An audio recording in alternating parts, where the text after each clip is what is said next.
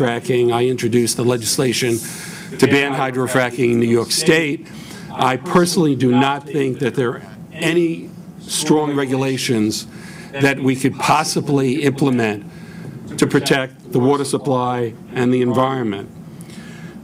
This hearing, this forum today, is to elicit testimony from everybody because of the fact we seem to have some indication that the governor and the Department of Environmental Conservation are moving ahead all of a sudden rather quickly, and the possibility of permits being issued um, could come rather quickly.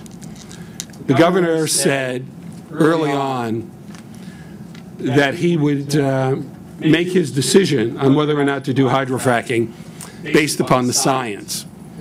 And we have a number of people here that will testify to the fact that we haven't heard from the science. And if anything, the scientific expertise and testimony that has been out in the public forum indicates that hydrofracking is not a safe practice to allow in New York State. So uh, I'm looking forward to hearing from all of you.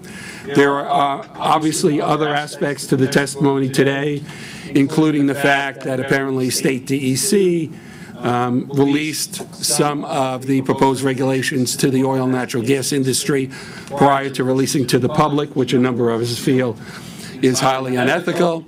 We also found out last week that Nationwide Insurance Company considers hydrofracking too much of a risk to underwrite. So there are a lot of things that are now coming together that we need to talk about here today um, and hopefully convince the governor and the Republican-controlled state Senate that hydrofracking is not a good thing for New York State, that we must protect New Yorkers from this very dangerous environmental issue.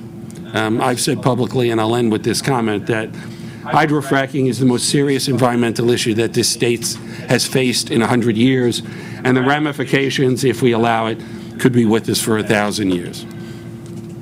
Um, why don't I start on my left? Uh, Senator Addabbo, would you like to say a few words? Thank you, thank you, Senator Avella, and I want to thank you and your staff for uh, doing this forum, and I want to thank all those who are here with us today. Uh, thank you for your time and for your input on what is, in my belief, the single most current environmental issue this state is facing, and possibly, and most likely, in its future history for this state as the most important environmental issue that we will be dealing with. The negative aspects of uh, fracking are reversible, irreversible.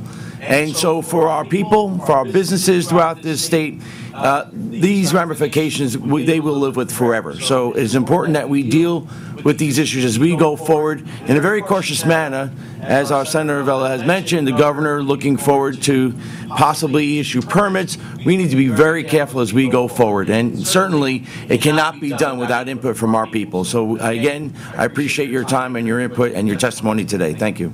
Thank you. Senator Perkins. Thank you very much. I, I, I want to first thank you very much for uh, convening this uh, forum, this opportunity for us to uh, share with the public our concerns and uh, to also let it be clear to Governor Cuomo to stop fracking around with our help. I'm New York State Senator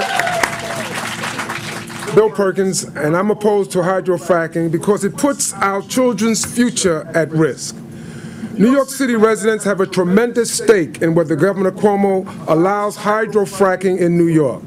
This dangerous method of natural gas drilling threatens our water, air, food, and health. Along with a growing number of elected officials, local leaders, and community organizations have come to the conclusion that fracking is not safe and should be banned statewide. Fracking involves injecting millions of gallons of water mixed with toxic chemicals and sand underground to release gas that is trapped inside shale rock. While this drilling would occur many miles from the five boroughs, the health of our city's 8 million residents would be threatened by the pollution, toxins, and dangerous waste produced by fracking. In New York City, we enjoy some of the greatest tap water in the world and it's something that we are proud of as New Yorkers. Our water comes from watersheds upstate that are so pure and well protected that it does not have to be filtered.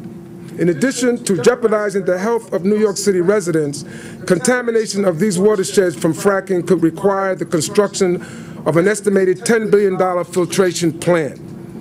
The fluid used in the fracking process contains six, around 600 chemicals, many linked to cancer and other health problems.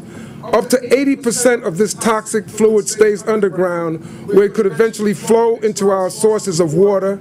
Moreover, there is no safe way to treat the toxic wastewater that is brought back to the surface. The bottom line is this. The Cuomo administration's proposal to protect New York City's watersheds is inadequate to ensure the safety of our water. And from an environmental justice point of view, fracking also threatens New York City's air quality. In the 30th Senatorial District, which I represent, we have some of the highest incidences of respiratory disease and asthma rates that are already tragically high. Fracking requires thousands of heavy-duty truck trips to bring water, equipment, and chemicals to drilling sites. And the fracking process itself can release particulates and other pollution that forms smog, which has been linked to asthma, heart disease, and other health problems.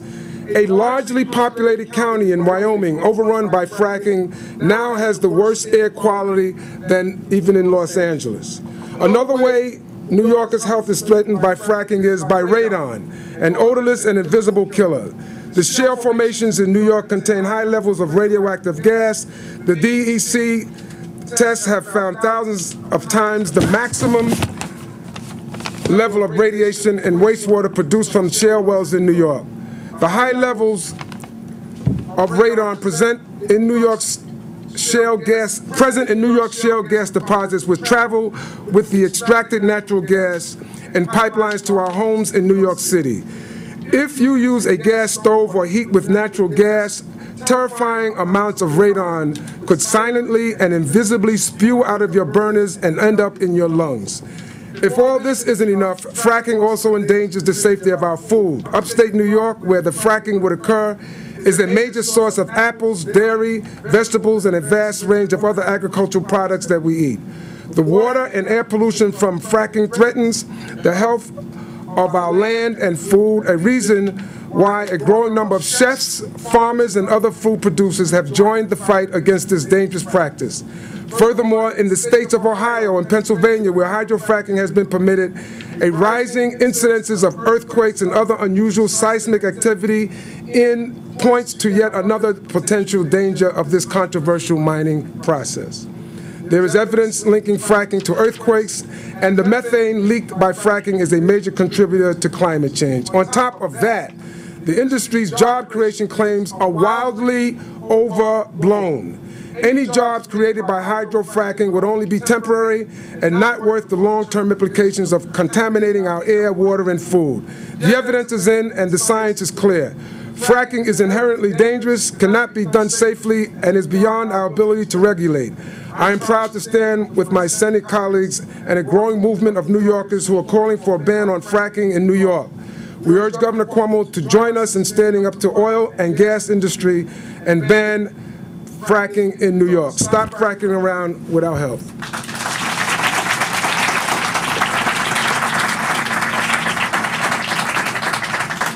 Couldn't have said it better myself. I stole it, I stole it from you. Senator Krueger. Thank you, everyone. Well, I'm very proud to be here with my colleagues, and particularly Tony Avella, who's been an incredible leader in the fight to educate the legislature and the public to the dangers of fracking. And I think my colleague Bill Perkins pretty much just went down the laundry list of why it is clear to me and has been that the science and the evidence are quite clear that this cannot be done safely anywhere in the state of New York. Perhaps someday the industries will figure out a way to remove gas from below the Marcellus Shale without putting our environment at risk, but clearly that is not the reality today. Now, the good news is we don't actually need that gas today and it will stay there underground. And when someday somebody comes up with a mechanism by which to withdraw natural gas, and if we need it, can be done safely, then it will be still there waiting for us.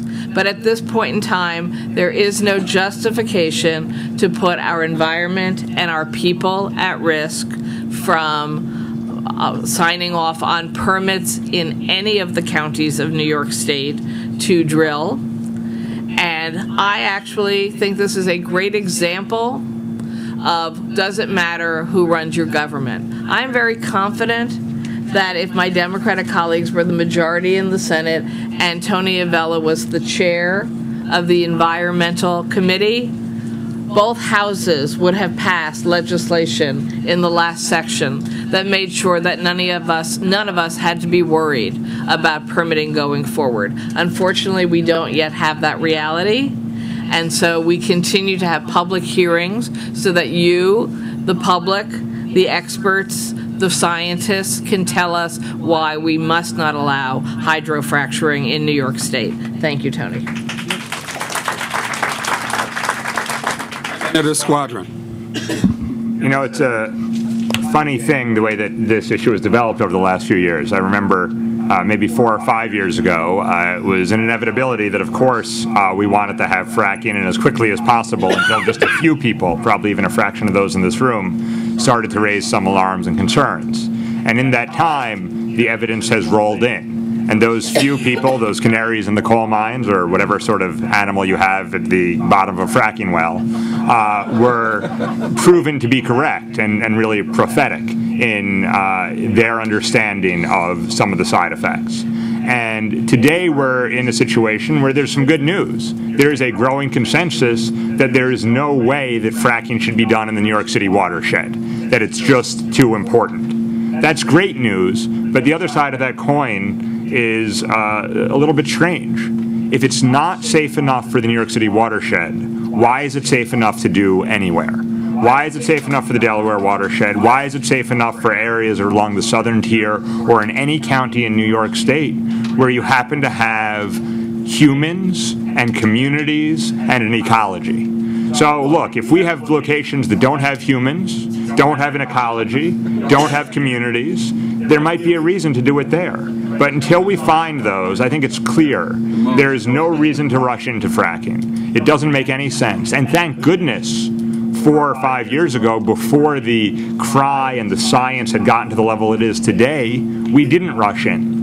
I just shudder to think what information what science we'll have five years from now. Let's just hope it won't be too late. I really thank especially Senator Avella and all my colleagues, but Senator Avella in two offices now has been one of those creatures down at the bottom of the fracking well uh, the alarm. And your leadership and, and as, as a colleague is really uh, uh, deeply appreciated. Thank you. Thank you. We've also uh, been joined by Senator Montgomery. Senator. Thank you. Um, I also join my colleagues in thanking uh, thanking Senator Avella for uh, leading our conference on this issue. Uh, it is one that is uh, extremely important to constituents that I represent, even though I'm from Brooklyn. Uh, and I think that we we have been joined by people from around the state in expressing concern. I have certainly testified uh, before the uh, DEC and uh, made my positions known. I am absolutely against this hydrofracking. And um, I want to also thank the people in this room and those from across the state who have been in Albany uh, every week uh, to remind the governor and to remind the legislature that this is the number one environmental issue in our state uh, across political divide and across the, the regions in our state. So thank you, Senator Avella, and I'm, I look forward to hearing more from people who understand this issue and who are willing to put their lives on the line uh, to make sure that we do the right thing in the state of New York. So.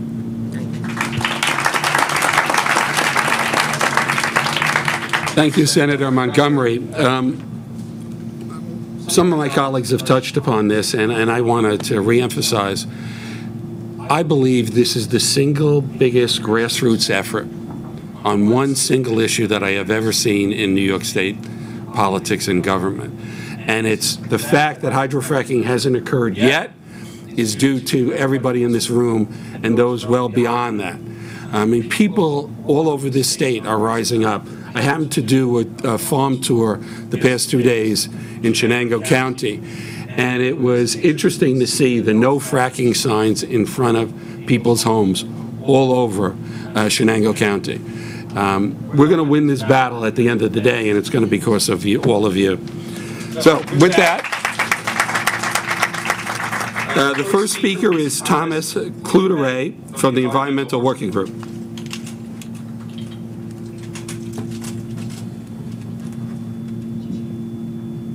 Uh, Good morning, and thank you for the opportunity to be here to speak about New York's decision on whether to allow high-volume hydraulic fracturing, a decision that will certainly have a profound impact on the Empire State for decades to come. My name is Thomas Cluderay, and I'm Assistant General Counsel for the Environmental Working Group, or EWG. For years, EWG has worked closely with citizens, public interest groups, and lawmakers at all levels of government to champion policies that protect public health and the environment. As I mentioned on the steps of City Hall last week, EWG has closely followed New York's fracking debate since 2008 when we were invited to testify before the New York City Council, raising concerns about the inherent risks of shale gas drilling. Like many others, we also submitted public comments to the DEC on its draft drilling plan, highlighting the plan's many critical flaws and scientific gaps. Taken together, the draft plan, uh, its shortcomings, make clear that New York is simply unprepared to make a decision on hydraulic fracturing at this time, or at least one that is informed by best science. Further, records EWG obtained from the DEC show that this lengthy review process may have already been compromised when the DEC gave gas drilling companies exclusive access to detailed rule proposals and draft permit language. That access gave drillers an opportunity to influence this rulemaking process weeks before the public even saw the draft rules, despite pledges from the governor that this process would be fair and transparent. In one blatant example, a drilling industry attorney who represents Chesapeake Energy Corporation, among other oil and gas companies, used this opportunity to try to weaken testing requirements for radioactive pollution that might run off of drilling sites during heavy rains. As you would expect, the DEC has criticized EWG's Inside Track report, which brought this preferential treatment to light. The regulators say they've done nothing wrong by sharing these documents with oil and gas companies. According to them, it was not only justified but necessary to meet their obligations under New York state law. Let me be clear. EWG has never suggested that the DEC engage in unlawful activity in this rulemaking process, and yes, we recognize that regulators have to develop cost estimates for their regulations and analyze how they will impact the subject industry. But nowhere in the law does it say regulators must share detailed rule proposals or specific permit language with the drilling industry outside of the public's eye behind closed doors. Nowhere in the law does it say regulators can cover themselves by citing vague language on the DEC's website, which simply says regulators have communicated with all sorts of stakeholders. Hardly a public acknowledgement that they have shared key documents with the drilling industry, and only the drilling industry weeks in advance. And nowhere in the law does it say regulators must engage in preferential treatment and leave it up to public interest groups to file rec- uh, records requests to reveal how the draft plan could be so tilted toward the drilling industry. We challenged the DEC to explain in detail how this behind the scenes dealing with the drilling industry is in fact necessary under New York state law. We also challenged the DEC and the governor's office, for that matter, to fill in glaring gaps in the records we obtained in response to our initial records requests.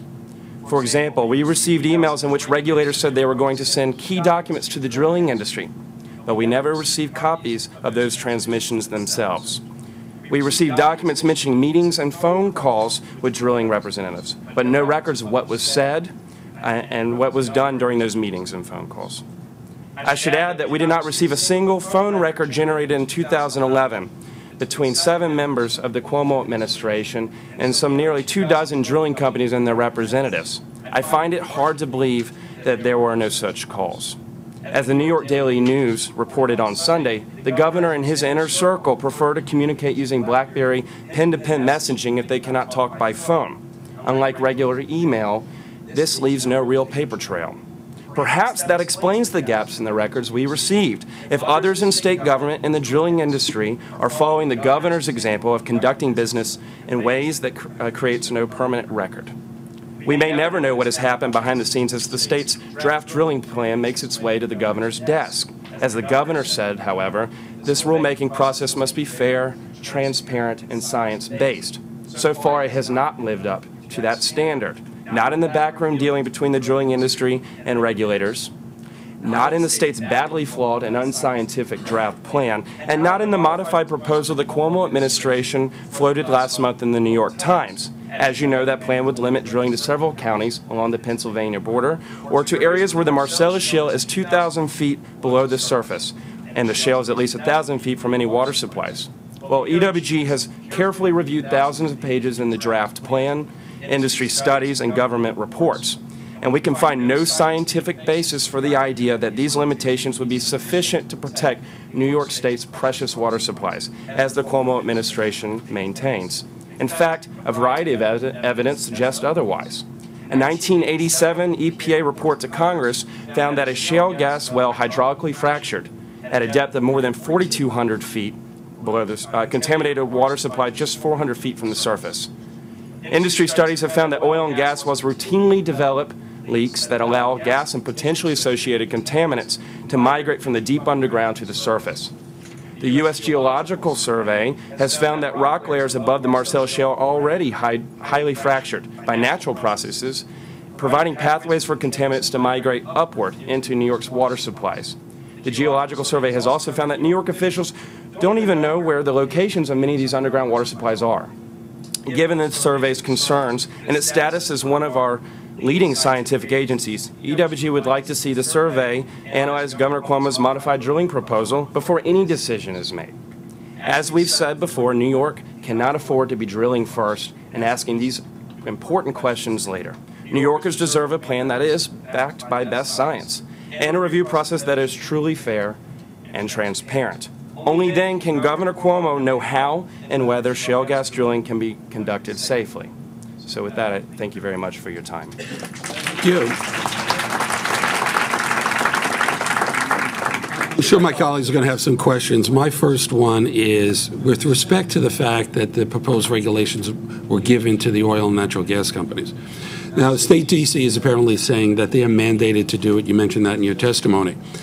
Um, have they said to you what section of the law required them to do that?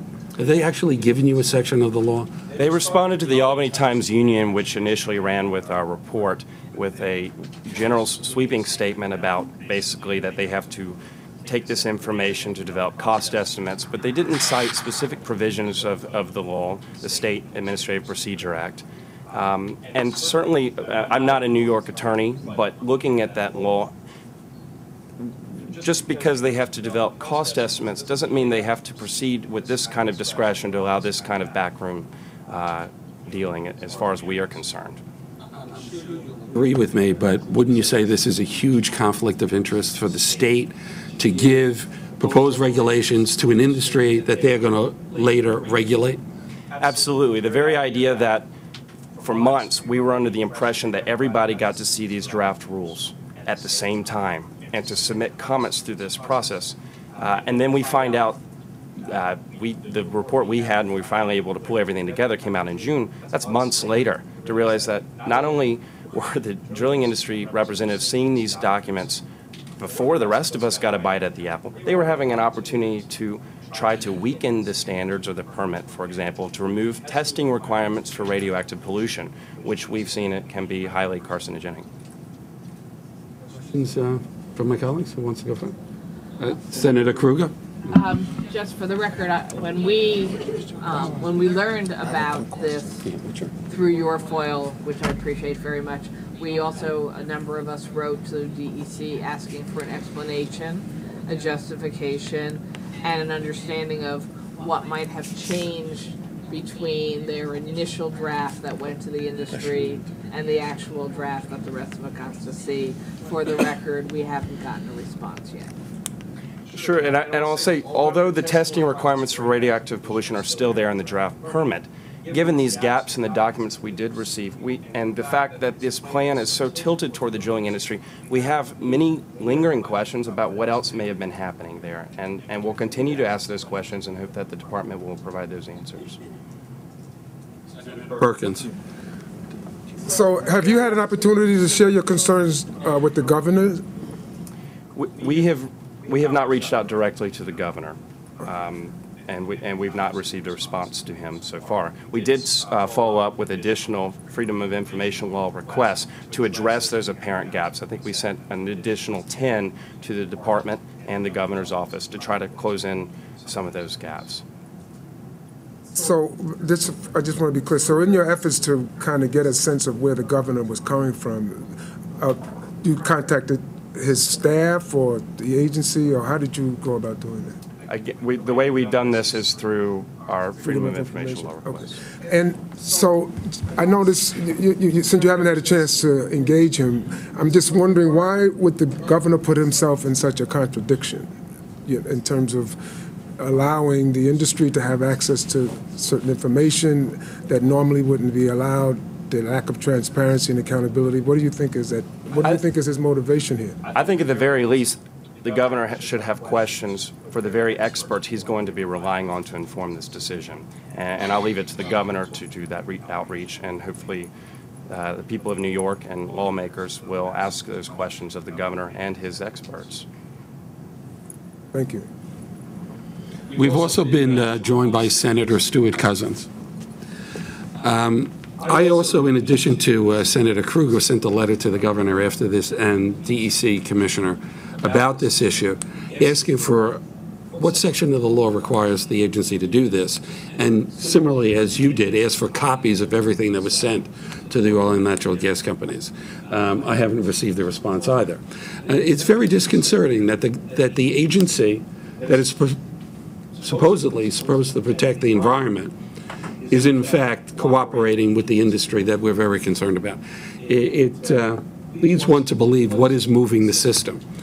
Is it the science or is it the money that the oil and natural gas companies are distributing throughout the system? Very disconcerting. Any final comments?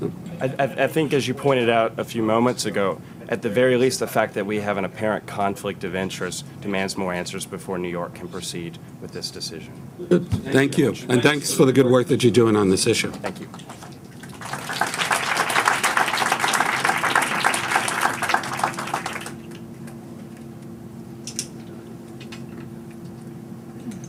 The next panel is uh, Chip Northrup and Ronald Bishop.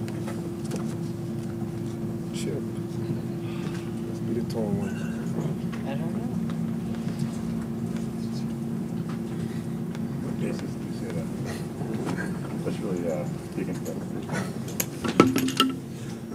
I'm Chip Northrup. This must be Ron Bishop. Dr. Ron Bishop. Uh, I was an oil and gas investor mainly in the offshore. Do you mind if I go first?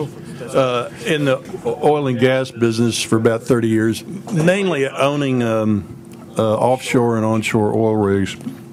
We, uh, my lovely wife Nancy and I, summer up in Cooperstown, and I became involved in these issues when we when we moved up here.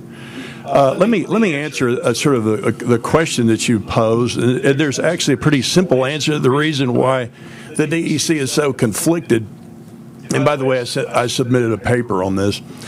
In most states, in mo- most oil and gas producing states, the environmental uh, regulatory task is separate from the minerals management task. Uh, in out of the out of the shale states, quote unquote, there's only four states that, that combine that function into one agency. Uh, most states obviously uh, do not. And so what that what that does is that gives the environmental task or the environmental regulatory the task a fair shot at being independent and autonomous to the minerals management function. Uh, they not it doesn't always play out that way, but excuse me. But that's that g- gives them it gives them an opportunity. So so the the problem that you're faced with here in these FOIL documents indicated is is that basically you you are uh, functionally you're dealing with a minerals management agency. I mean it's called the DEC. It has nominally it has a, an environmentalist as its titular head, but it, you really in this in this regard, at least for this activity, uh, shale gas development, you're you're you, you're dealing with a, a minerals management group. When you go to when we go as environmentalists.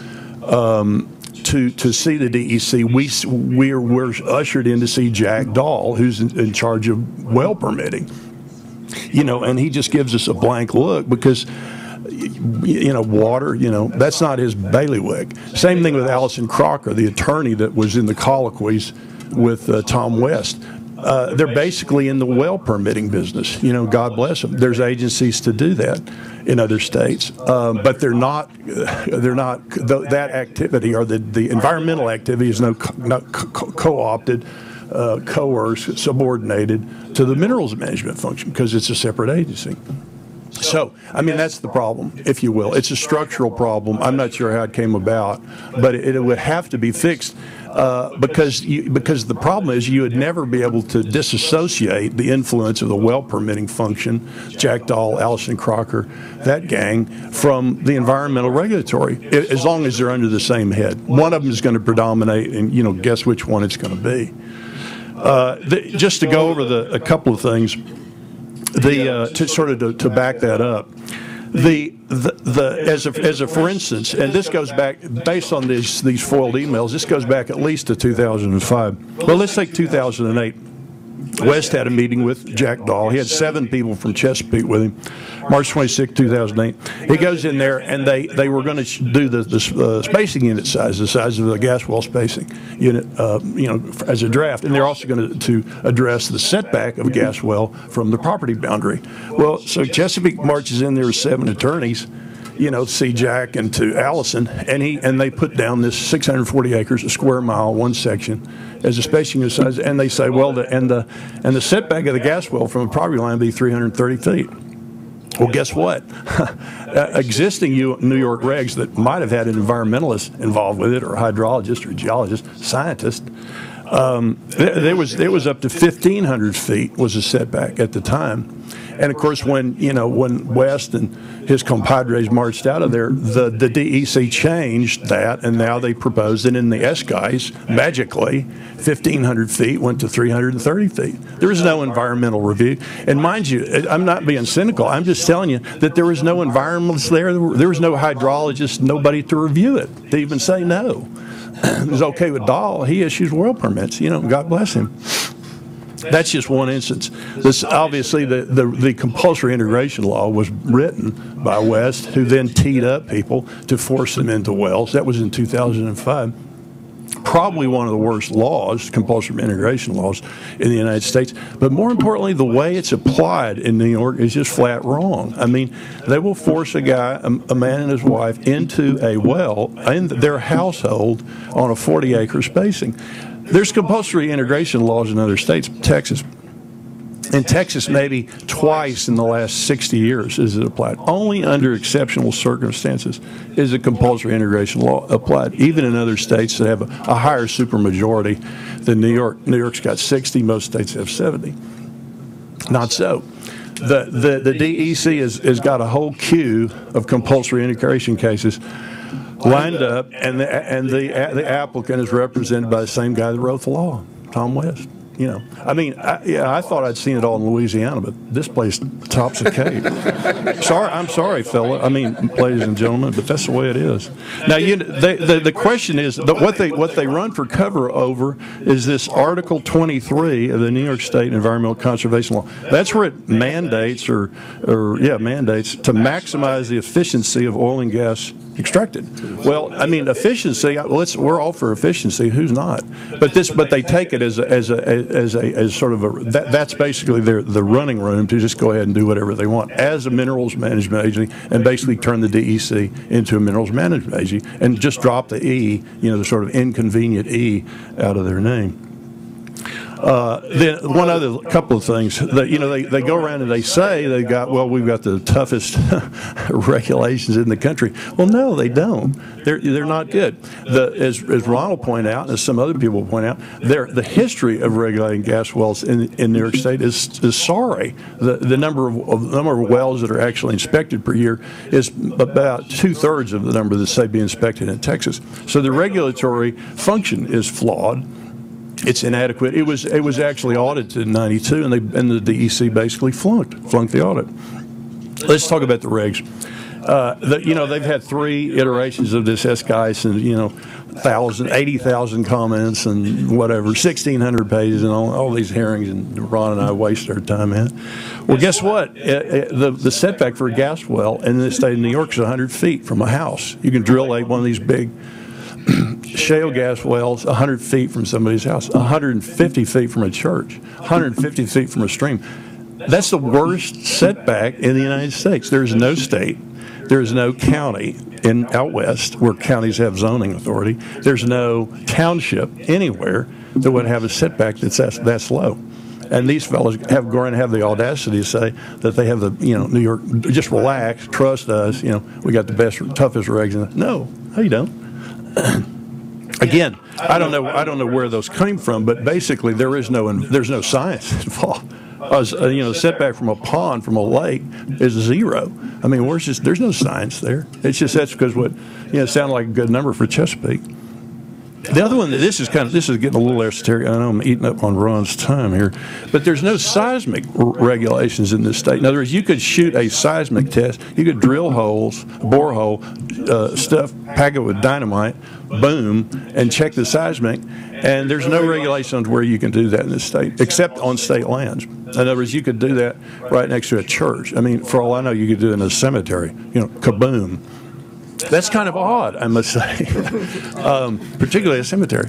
Um, like, for instance, in Louisiana, you can't shoot seismic within a thousand feet of a boat. And then, you know, you all like scratch your head. You know, they must be very fond of their boats. Well, because they shoot seismic in bayous. So, and you, that's be a dandy way to hold a boat. Not in New York, you know, and you just let it roll. Um, the obvi- and you're going to hear more uh, about this, but the, but the DEC basically went out of their way to ignore the high, the hard science on this. I mean, you read the SGEIS. Not only did they ignore it, but they basically took the industry line and they went back and they not with the hard science, but they went back and they disputed the hard science that had been presented, particularly from Howarth and from Jackson, Osborn, and the Duke methane study. They just took pot shots at it. It's the kind of pot shots that the industry would have taken. No, isn't that a surprise? Uh, and of course, as as you as we know, the the um, the, the non-industry people don't really get a hard look at these regs. They certainly don't get a meaningful uh, input. And, and for instance, the, the, the, the, they, they, they hired out the review of the of these 80,000 comments to Alpha Engineering, among others. And Alpha Engineering was the group that they had hired to write the report. So, you know, they might give themselves an A, don't you think? because the rest of us, you know, that's we're going to get our we're going to get our comments. Ron's well considered comments will be reviewed by the same people that wrote the report. Gee whiz. Um, and the uh, and well, I can go on. I, uh, but this well this is something too that first caught my eye. This is one of the few states in the United States that does not tax gas at the wellhead. And you know, the the problem with that, there's a couple. One of them is is that that means nobody's out there actually reading the meter. There's nobody from the state reading the meter that the state would get money off of. This this stuff is 7.4 percent gas tax in Texas is 15 percent in Arkansas. It's zero in um, in New York, and that's there's no there's really no state that has any shale gas potential that is even now Pennsylvania that is devoid of the state revenue directly from the and you know the apologists say well New York is oh they're high taxes. We got oh we have high taxes. Well you're missing one. I'm here to tell you it's a line on him on a run ticket. The state severance tax. Just let that roll off of your tongue. Uh, the um, the, the, the, the, the science, the, the, or sort of the environmental science, if you will, that's manifest in the SGEIS, is really a bunch of political payoffs. I, I should, I know that's the wrong term, I think, but I, what I mean is, is that I'm sorry, no, no, no, nothing impugned here. Uh, is is that the um, is is that, but you, but I mean, it's directly a function of the number of voters affected. I mean, it's not just you know New York City's reservoirs, but it's you can trace that all the way down to say the lowly organic dairy farmer who has you know base of, voting presence of zilch, and and that's the, and you if you look at the setbacks, for instance, the protections in the S guide, it's a direct function of population. It's re- it's really a remarkable piece of work. You know, some firm in Houston probably dreamed it up. But that's but that is in fact the science. In other words, you could you could take those regs and you could match them up, correl- correlate them with the number of people protected, and that is the science. It's political science. Uh, You know, I don't mean to insult any poli-sci majors, but that's not science. Sorry. Um, This is a sort of an anecdote, but the revolving door at the DEC is basically uh, directly to the industry. I mean, there may be, they may be out there, and I wish they would raise their hands, if- but we, Ron and I don't run into any ex-DEC employees, you know, on the anti-fracking circuit. You know, it's they're all the people we run into, or the, the fracking shills, if you pardon the expression, ma'am, are ex-DEC employees, and that's because they're minerals management people, like they would be in Colorado, you know, or in Texas at the Railroad Commission. That's understandable, but there's no there there's no there's no revolving door for an, for an environmentalist. The fact that they have an environmentalist, you know, as their figurehead is it's you know that's good for. So uh, let me let me make some suggestions, if I may. Uh, your your assembly colleagues, I think, might might want to subpoena these people. I think you know if they don't answer your questions. Well, come tell Mama.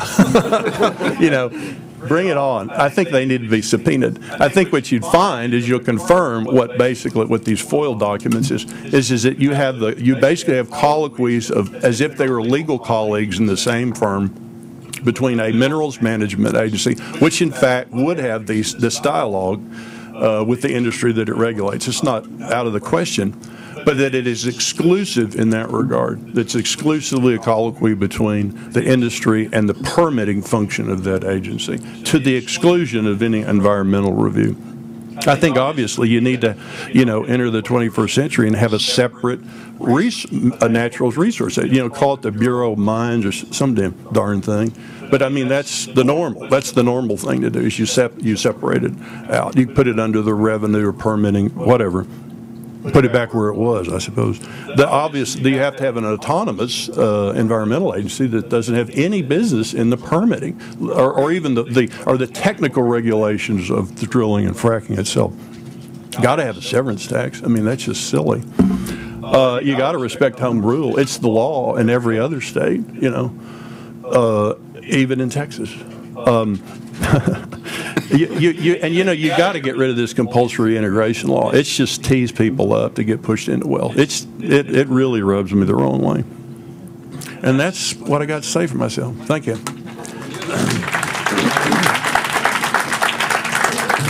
I think it would be uh, helpful just for you to state your background in the oil. Okay, yeah, I kind of glossed over that. Um, I was a um, I was a planning manager at Atlantic Richfield at Arco um, in the late 70s. I, I had a company, uh, the, or, I was a co-founder, co-owner of a company that we sold to Atlantic Richfield.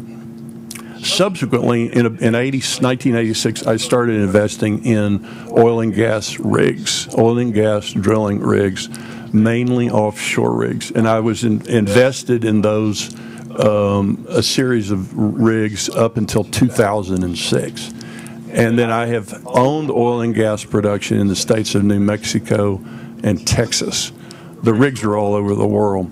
But, the, but just as a for instance, the rigs were subject to Coast Guard regulations. The oil and gas properties were subject to the BLM, to the feds, to the state of New Mexico, the state of Texas, county regs.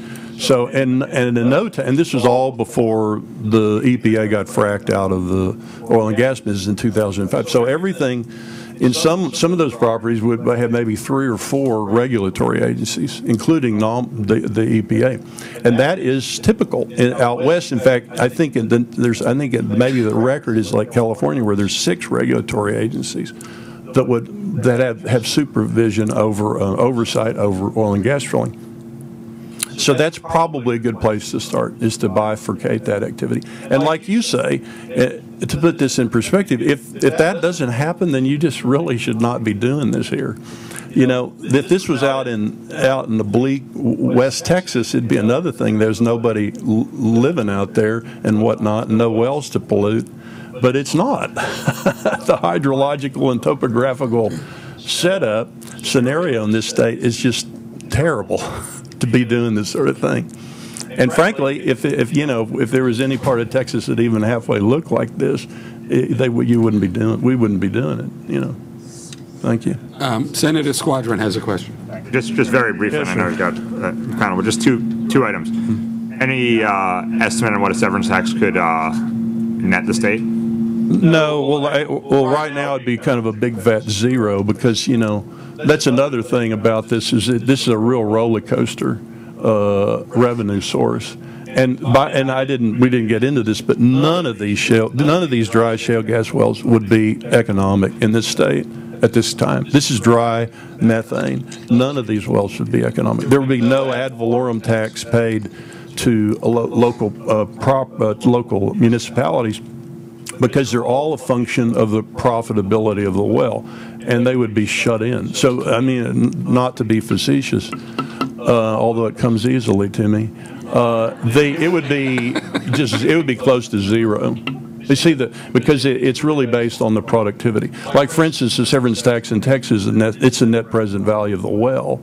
And if it's unproductive at this point, or it was shut in, it'd be, it'd be like zero. But, but, but I mean, it could be, you know, if at five percent, on the other hand, at ten dollars an MCF, it could be a lot of money.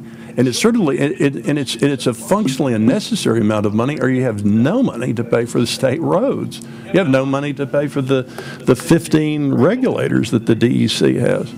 You know, you got, anyway, excuse me. So, and just the other, you, a lot of different states got thrown out there. I think we all noted that we're worse than Louisiana, and uh, sadly. Well, I don't, I don't, I don't mean we to, all I don't mean to offend it. It's a We're- we're not- convenient whipping boy for Texans. not it, it works in New York too. So, uh, but but quite seriously, a lot of different states. If you were to compare New York's regulatory and oversight structure, Yeah. uh, in terms of both effectiveness and independence, Right. to another state in the union, uh-huh. what state would that be and why? Or is I, there well, no- I would probably Belize. Maybe, um, no, Belize, I, wouldn't you say Belize? No, Colombia, maybe. So, th- so, there, so none of the other forty. No, well, well, first of all, let me say that that's, that's addressed, not, not, that's addressed in this, in this paper. And- and we It's, looked at it. because it compares the 31, quote, shale states, the regulatory structures of 31 stale- shale states. If you, if you throw in the, uh, you know, the lack of a severance tax, which is important because absent a severance tax, you have no revenue. So, so New York, just It'd be, it'd be pretty much at New the York bottom. is the single worst Probably. in terms of oversight and independence in the nation, in your view. I think so. Yeah, it- you'd- I you- I I haven't seen, it- if you put all those factors together, I don't see, there's nobody that'd be any worse, I don't think. Thank you very much. Yes, sir. that. Thank you. Senator Krueger now has a question. Yeah. No, no, no, you can, she has one more question. Oh, yes, ma'am.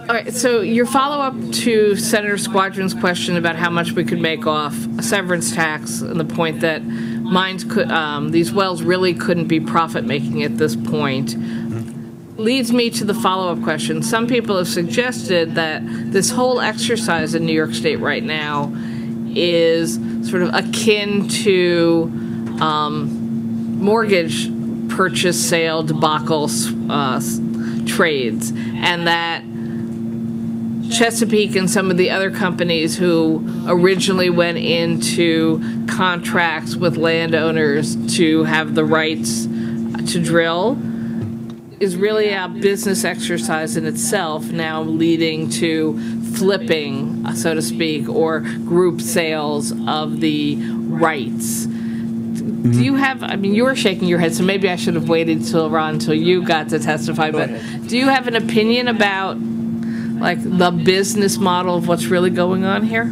It's a Ponzi scheme, ma'am. It's basically, um, the, what happened in New York was, is, and Deborah Rogers has really, done some really good work on this, is, is that it was in fact a land flipping exercise. And the, and the econo, the fin- financing of it was, was actually facilitated when they changed the SEC rules in 2008. And basically what it did was, is it enabled you to like make up any value that you wanted for your reserves. So you go out, you'd tie up a lot of land, you'd basically try and lease land from some dude in a beard driving a buggy, and uh, for nothing, which is what they did. And um, and then you would you would drill you would find a well drill a a test well that pick your best well. Then you go get a Netherlands Sewell or some you know reservoir engineer down in Houston to give your assets on uh, your reserves a big value. And then you sell, float junk bonds against it or you'd sell stock or whatever. So it was you know it, it was it was kind of a scam it is kind of a scammy deal. It's not that all of these wells are uneconomic. It's just that the overall financing structure it's like not like you know some mortgages are good, but but there was the preponderance of it was um, a scam, which is why basically Chesapeake collapsed, you know, and. Um, among other reasons, the thing that the thing obviously that tripped it up was is all that works as long as the price of gas goes up. As you as the price of gas goes back, then you then all this is basically exposed. The the the you know the falsehoods of it are exposed. So. So yeah, it's kind. It was kind of a scam, and particularly here in New York, where they tied up a bunch of land. Let, me just one quick point about that. Senator Grisanti tried to increase the the well spacing from one square mile to two square miles. The reason why Chesapeake wanted him to do that was is because you can you can hold the acreage uh, with one well. So in other words, if you increase the spacing unit size to 1,280, two two square miles, then basically you could hold the leasing of of, uh, of with just one with just one well. That's kind of that's not so good. That's that's in the that's in the that's in the um, the, the gas industry's favor to do that. Thank you. Thank you. Thank you very much. That- you, sir. We really appreciate your testimony. Thank you. Okay, um, hi, um, I'm Ron Bishop. I'm probably not going to be as flamboyant as Chip.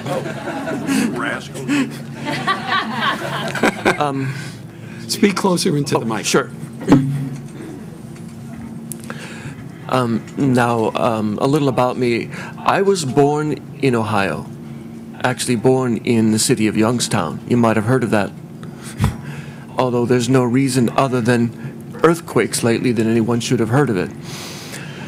Um, I, uh, I did a, I got my bachelor's degree in chemistry from Youngstown State University, uh, and then I moved from Ohio to West Virginia to get a job. Not everybody can say that. Um, after managing a laboratory at the medical school for a couple of years, I was strongly encouraged to apply myself, and and so then uh, a few years later, they kicked me out with a PhD degree from the West Virginia University School of Medicine. Following that, um, I, um, I did postdoctoral work uh, with a contractor for the National Cancer Institute at Fort Detrick, Maryland, uh, for several years. Um, and then after that, I went to work for a biotechnology company, especially working on biosafety issues, especially viruses and so forth. Um, uh, and during that time, realizing that I, I had liked the contact with the interns and students and all that sort of thing that I did not get with the biotech industry, I also um, went back to night school for education to make an intentional conversion from full-time research to full-time teaching. And I've been then doing full-time teaching since then. I currently teach chemistry and biochemistry at the State University of New York at Oneonta. That'll handle those sorts of questions for you. Now, how did I get into this mess? Um, about four and a half years ago, um, some friends of mine in a very new at that time group called Sustainable Otsego heard of an industry like this, the shale gas industry, coming our way, and they asked me if I knew anything about it, thinking that since I lived in an area with a lot of minerals extraction before, I might. Well, I didn't, uh, and I started looking around myself. Who, you know, who can teach me about this industry? Who can tell me what to expect? Um, because they tapped me not only because I'm an academic, you know, with chemistry and biochemistry, but I'm also a construction professional, um, a commercial industrial electrician with quite a few years of experience working my way through school. So um, I actually at that time went to the only people I knew who could could teach me, um, the people at Schlumberger, Halliburton, BJ Well Services, and the like. And I learned an awful lot about the gas and oil business from them. I've learned a lot more in the meantime from a good friend of mine, uh, Lou Allstadt, a retired vice president of uh, Mobil Oil Corporation, who acts, is a friend and a neighbor, and his wife and I sing in a group locally. So this is sort of my exposure to the industry, you know, as of about 2008. And along the way, I decided to take, started to try to take a hard look at, okay, well, what's the science? What can we expect? You know, using my tools as a scientist, as a chemist, you know, what can I find out of what's been going on? Um, I'd heard a lot of hand waving on both sides, and I hadn't picked one. And um, uh, I can make that longer story shorter. I've picked one now. Again, what is it?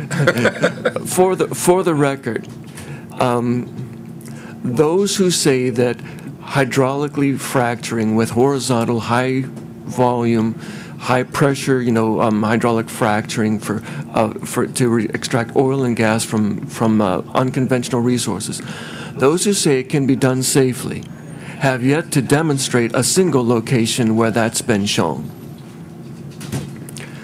So when, when I've looked for the place where, that's kind of fun. So, some, somebody. Please leaning against the light switch. Can you repeat that again? Sure. Um, I have heard it said by others that um, extraction of oil and gas through horizontal, high volume, high pressure hydraulic fracturing, and then in subsequent recovery of the of the resources from unconventional, you know, um, reservoirs can be done safely. I have not found a single location in the world where that is actually true. And we now have a lot of locations in the world where that's been going on for almost 10 years. So I follow the data and the, and the, the, the results, the evidence tells me it can't be done safely. It hasn't been done safely. Now, what I want, and I've done some writing on the subject. I did, um, um, uh, in my terms, uh, a scoping document white paper that I called a chemical and biological risk assessment for for uh, natural gas extraction in New York. And if you haven't received a copy, I'll make sure you have at least an electronic one before I go. And subsequent to that, um, I started developing different sections of that white paper for a special study. And as a result of that, I actually did provide uh, some of you um, at your uh, Canandaigua meeting, although I wasn't able to attend because my teaching load prevented me. I talked about the history of oil and gas well abandonment in New York State. And to me, the upshots of that history were that in the 1970s, when um, DEC records were first beginning to be kept, we had our best um, reported success in enforcing industry compliance for plugging abandoned wells. And that, and that rate at that time was 24%. Through the 1980s and 90s, uh, their success rate in enforcing compliance and plugging inactive wells dropped by half to 12%. And then in the 2000s, it dropped by half again to 6%, where we are today as an average. So we see a DEC that is actually at an all-time record low point for actually uh, enforcing compliance on one of the most important aspects of the industry. Now, what I want to focus on for you today is mm, just two case studies that say there's a little bit more um, uh, trouble in Houston.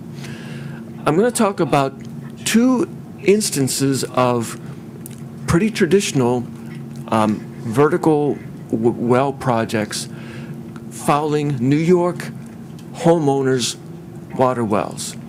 You may or may not have actually heard about the details. I picked these two case studies because they're very interesting from a couple perspectives and they're very well documented. Another thing that is a little bit unusual because um, I find that for most of these kinds of incidents, our um, DEC is very good at efficiently sweeping the stuff under the rug. But here's two that got away from them, and I'll just introduce them to you, and I'll leave uh, your your people, possibly Rebecca, with all kinds of uh, paperwork if she'd like to follow up possibly with the uh, Office of the Inspector General, or maybe you'd like to subpoena some of these people. In, uh, in um, the February of 2009, the David Eddy family noticed that there was a, a ring of new natural gas wells going in and around their property. Um, and uh, they could hear the, of course, the, the, the, logging and all of the other preparatory steps. They could, you know, see all of the trucks that were related to the grading of the well pads, and and then they knew when frac week came because they could hear the uptick in the uh, uh, uh, in the business. Now, these are a lot smaller and more um, compact kinds of projects, but there were four of them in a ring around this family's home, about um, from from uh, as near as about uh, 330 feet to as far as about 1,500 feet away and they were all being developed by U.S. Energy Development Corporation, which, although it's not based in the state, has a major office in Getzville, just north of uh, Buffalo. Um, they noticed a big change in their water on frac week. And again, these guys were, were doing, uh, operating fairly sensible, that is to say, um, bring the uh, well services companies in all at one time to do four very close together wells. That's just good, a good business model. Um, but the Eddy family called everybody. They called the county, you know, health department, um, the environmental branch at the time headed by Tom Hull, and they also, of course, called uh, the DEC. And the um, um, the the agent who's most active out there in Region 9 in that part of the region would be uh, Brian Jandrew, and his boss is Chris Miller. You may know Chris um, because of being having been reprimanded just this last year by the Office of the Inspector General for failing to divest himself of his fam of uh, management of his family's oil and gas business before taking a supervisory role with DEC. But I'll let you guys work that out. Um, U.S. Energy came and did their own well water testing. Um, they also invited Culligan from nearby Bradford, uh, Pennsylvania, to come and do some well water testing for this family. Um, uh, the company, uh, U.S. Energy's well water test showed nothing wrong. And uh, the Culligan Company's water test showed something was wrong. There was a, they, they found traces of oil and, and oil byproducts in, in the water well, um, the kind that didn't belong there. And a follow-up sampling by uh, the um, uh, Allegheny County um, uh, Health Department also found some, some of these problems with the well. And this is what the family was complaining about bad odor, bad smell. It tasted like you know, gasoline. This is, by the way, very strange. This is not the kind of damage you expect from a gas well anywhere. Particularly not the fairly dry gas wells because the targets out in their part of the state are typically the, the Medina sandstones. These Medina sands live below the Marcellus but above the Utica, and it's believed that it's the Utica that's actually the uh, source of the uh, resources that are in the Medina sands but they're dry gases. They're not very many of the um, you know um, uh, wet hydrocarbons that have to be purified away from them. And in fact, across wide swaths of the state, Medina wells. Um, uh, the, our DEC permits um, um, companies like um, uh, uh, Lenape Resources to actually market the gas without any post-processing except for separation from the brine. So that's really dry gas.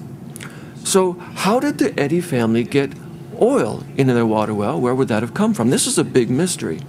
It's a mystery that Brian Jandrew spoke about at length with a landowners coalition head who went out to visit him, but he wouldn't talk to me when I uh, called him on the phone. I found that interesting. Um, and his best guess was, well, there was an abandoned well in the in between the Eddy family and this arc of new gas wells being developed. And on frac day, when they, of course, uh, were able to, you know, send out, you know, uh, these uh, hydraulic fractures in the Medina sandstone, which are targeted to go two to 500 feet. You know, the occasional one gets away and goes for half a mile, might have intersected with this abandoned well. Now, no search for an abandoned well was ever conducted that I could find any documentation for. And as I mentioned, Brian Jandrew wouldn't speak at any length with me about it when I called him on the phone. So shortly now, U.S. Energy, while saying they had nothing to do with the Eddy, Eddy's water well problems, installed for the Eddy family a carbon water treat, carbon filter water treatment system, and they also offered the Eddy family a cash payment if they would sign a non-disclosure agreement. He took the filter um, system, but he, he said no to the cash. And that's one reason it's as well documented as it is today. Well, this was um, this all happened out in about 2009, and the wrap up that I could see from the county health department documents and the U.S. Energy documents was about August or September of 2009, and I hadn't heard anything more. So I decided to FOIL request um, a final disposition. You know, a final like investigative report from the DEC. You know, well, what did you decide? I filed this with the DEC in, on August 15th of 2011.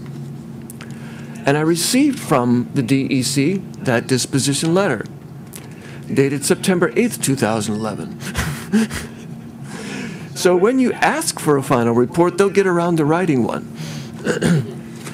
and the conclusions of this letter basically said, well, it's an incontrovertible, it, it's highly probable that natural gas development was responsible for fouling the Eddy family's water well. But because we don't know which of the four wells being developed near their home was the culprit, we can't assign blame or anything like that. And so uh, when the SGEIS was being written and they said, well, there have been no incidents across the state to, to speak of, they didn't speak of that one because it was inconclusive. But if you like that, you'll love this one. um, um, the, um, the family of David Ferrugia lives in Kiantone Township, um, uh, Chautauqua County. That's just south of Jamestown. And they built on 22 acres a new house out there in 2001. They had a new well put in, and of course, it, they had it um, analyzed. You know, uh, uh, at, at, the time they put it in, it wasn't just a sale like with the Eddy family who brought bought their property in 2003, but it, they did the whole you know ball, ball of wax with that. They heard that some new gas development was coming into their neighborhood soon, so they then did a pre drilling baseline water quality study on their water well. And in fact, the, uh, the local driller uh, participated with that. Um, now, the, the local driller had a, about three wells within about a thousand feet of the Ferrugia family.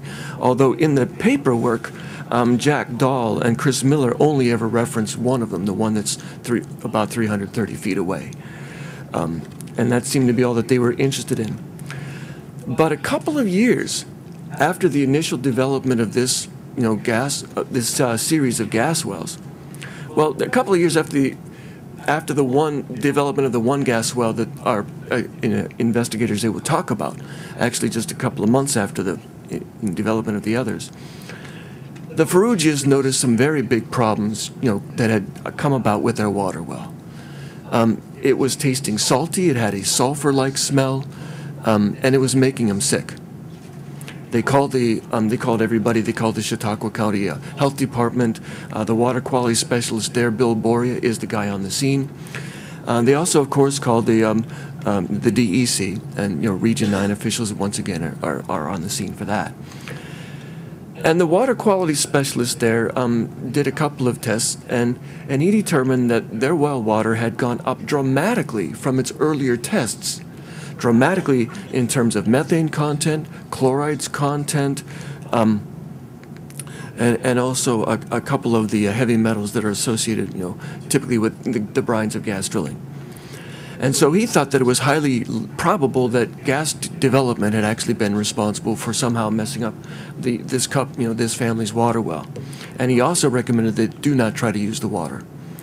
He reported his results by means of this uh, memorandum of understanding between the county health department there and Region 9 of our DEC's Bureau of Oil and Gas Regulation that the first initial investigations are often done by the county health department.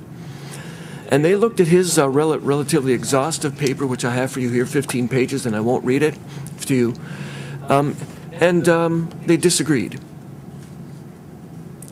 Um, they thought his, um, um, uh, they, they, mentioned some anomalies of the hydrogeology there. They mentioned some, uh, uh, something they just didn't, they didn't feel convinced. We don't know why. They said the timing seems to be off. And after all, the big, the first thing that the Ferrugias seemed to be complaining about was a bacterial problem. Although I have to say, when they tested for coliform bacteria, it wasn't coliform bacteria, it was some other kind. Um, then the USGS um, out in that area, which had been copied on the correspondence between the DEC and the county health department, weighed in and said, I don't think either of you has quite enough information to call it a slam dunk with gas well development or to say that it wasn't related to gas well development. And there was then a follow-up by Bill Boria, who, who answered a lot of the points made by both the USGS people and also by the, you know, DEC, uh, Chris Miller and Jack Dahl. Uh, among other things I should mention to you about is that Bill Boria has been their water quality specialist there for 27 years. He's not new to the area or the science. And, and as a final disposition, what I want to mention is that um, some of the things that the DEC people were complaining couldn't happen, couldn't happen, was, for example, this sort of this, this idea of bacterial contamination. It must be their septic field, their leach fields, or something like that.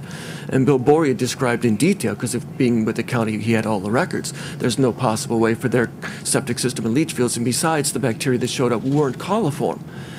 Actually, I can tell you based on the fact that they smelled hydrogen sulfide, we know what kind of bacteria they were. They're an ancient life form called Archaea, and uh, their name is probably Desulfovibrio desulfuricans. And when you do top hole drilling, as is, is common in the state of New York, with no biocides, with no, actually no drilling mud at all, mostly with compressed air and a little bit of glycol ethers for foamings uh, agents, you go down about 100 feet past, you know, deeper than the nearest usable water well, and then you pull all your rigging up to set the surface casing. And that's when the bacterial contamination happens.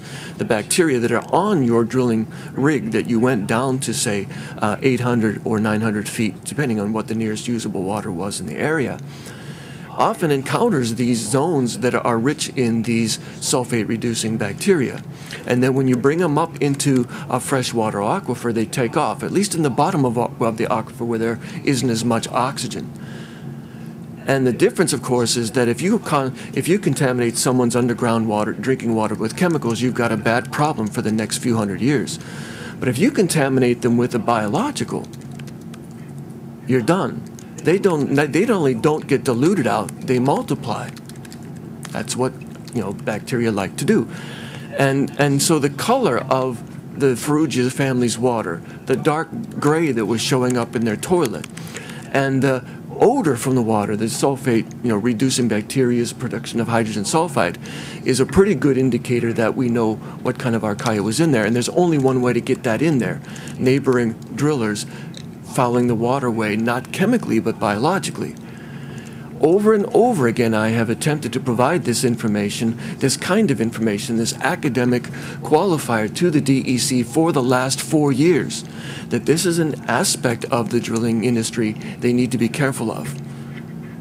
They have not returned any of my messages. They have not returned my papers either, so I'm hoping that they read them. But what I'm seeing is that they have access to people who've done research, who've been looking hard at the, you know, independent scientists. It's on my dime. I'm doing all of this, but I'm not getting the same kind of access. I see um, people like Chesapeake and Nornu and Range getting to our DEC. So I just put that out there. This is the science, though, that we have is that our agency is trying to look better than they are by sweeping some things under the rug, and you might like to question them on that. Thank you. Go. Um, Do we have copies of those? Can you provide us with copies? I'll give you. I, I I didn't. I didn't have time to make a lot of copies. I have this copy. If you can and I email have them, a I'll thumb do. drive that I can provide you with um, lots of wonderful stuff. Right. So I'll, I'll be happy to leave those here for you. Questions? No?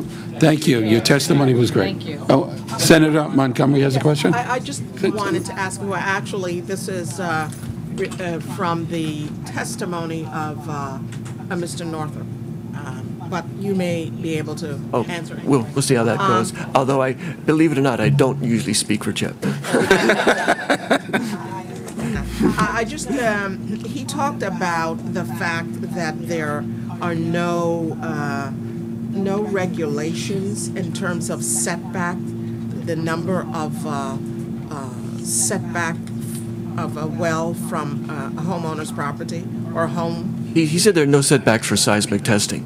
or, okay. A- And I can, by the way, attest to that because I happen to live in a town you may have heard of. That's Middlefield in Otsego County.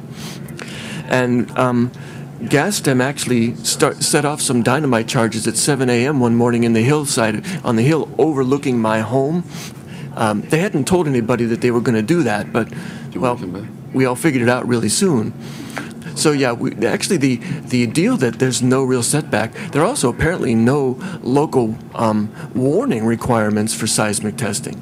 Because we, our first warning was the dynamite, although it was very effective. Actually, Chip is going to come back if you Oh, want okay, to. oh, good, oh, great, thank you. Um, I wanted to ask you about the, the uh, regulations on setbacks and the, the, the way that, um, that uh, homeowners' property, uh, the, the, the mortgage on a homeowner's property may be voided uh, based on the fact that a well is not far enough from that property? Right. Uh, But the insurance and the homeowner's mortgage Yes, ma'am. Uh, That's, um, um, Beth Radow is an attorney, and she's going to testify about that specifically in a minute. I'm not an attorney, nor do I play one on YouTube, but it's pretty simple. Um, The, the problem is, is that the the setback in this state is, is to, from, a- of a gas well, of a, I mean, a drilling rig, from a house is less than what the FHA or the Fannie Mae, Freddie Mac guidelines would be. So the, the, the and that's just, uh, it's a little, it's, that's about as simple as it, as it can get. But the problem is, is that you could drill a well under the DEC regs that would just toast your, uh, your mortgage because you'd be in violation of the loan covenants of the mortgage. It would also, as I think Senator Avella said earlier, it would also void your warranty. Uh, I mean, your, uh, your insurance. So uh, there, the, the, the problem is, is that, uh, again, is the regulations in this state are so bad that uh, they, they wouldn't pass muster at Fannie Mae, Freddie Mac, in the secondary mortgage market, or, or in the insurance uh, industry, in the home homeowners insurance industry. Next panel maybe actually be able to go better to that question. Yeah.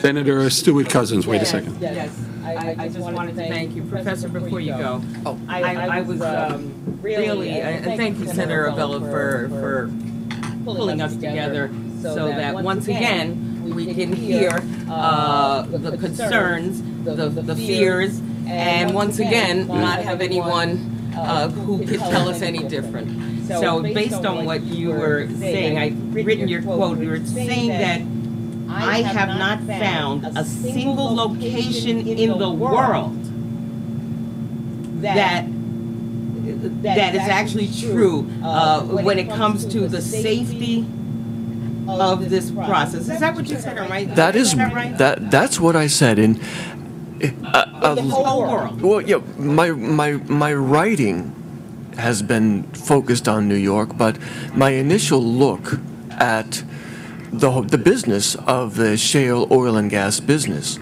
had me looking at um, work sites in Croatia, you know, Sweden, Norway, uh, Poland, uh, UK, um, uh, as well as in the U.S., Canada, um, Nigeria, and, and so on.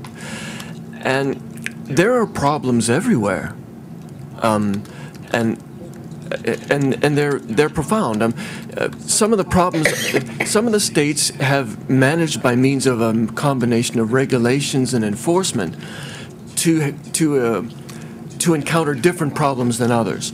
Uh, for example, the state of Michigan has a fairly shallow shale, the Antrim Shale, and you would think that they would have had more groundwater contamination than other states because their shale is actually closer to the surface and, and, and more prob- problematic to keep away from groundwater. Um, as a matter of fact, more of the problems in Michigan because they, they realized that they had a real issue with their shallow resource. Um, they, they stepped up their um, uh, uh, enforcement activity uh, fourfold. They, uh, they put a lot of money into the project. Um, and they've still had problems, and um, there are a couple of major uh, documents, or, or actually video documentaries. One of them um, i with the not so fetching name "Journey of the Forsaken," um, uh, that comes from Michigan. But the biggest problems that they've actually had were with uh, uh, companies drilling un, uh, unregistered, unlicensed pipelines. Uh, the, the most intensive drilling in Michigan has been in, in the North Woods. Actually, the most intensively drilled county in Michigan is Otsego County, a cruel twist of fate for me because I live in Otsego County, New York. But getting through the North Woods is actually very difficult, and so they've just been basically plowing up stream banks to lay pipelines and things like that. So if you you can pick your your your different area, and and you have a different range of problems depending on the success or the failures of their regulatory regime. Um, the biggest problems with air quality seem to have been encountered in Pennsylvania. Um, uh, uh, of course, uh, Colorado and Wyoming. Uh, but uh, Kansas has also had profound problems with air quality. Uh, people that I have met who, who are from there say, well, you know, how just how, how long can you hold your breath driving up the highway? You don't even have to live next to the stuff.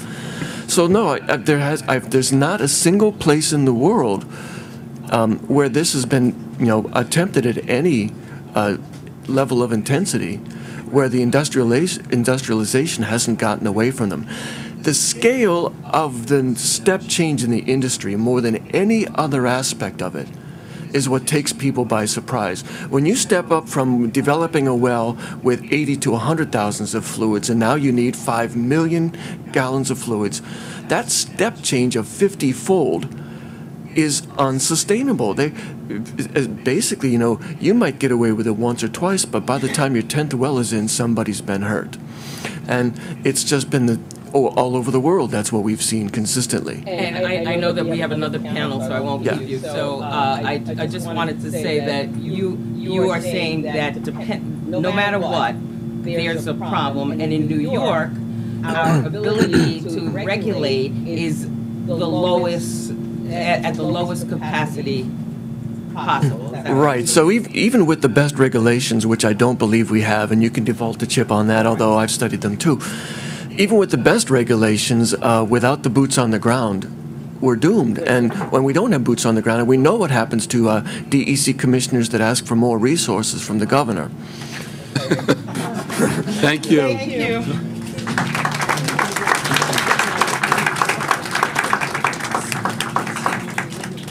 I know we're uh, sort of taking a little bit more time with these first couple of panels, but I think, as you'll agree, their testimony has been very important. The next panel is Elizabeth Radow and Jeanette Barth.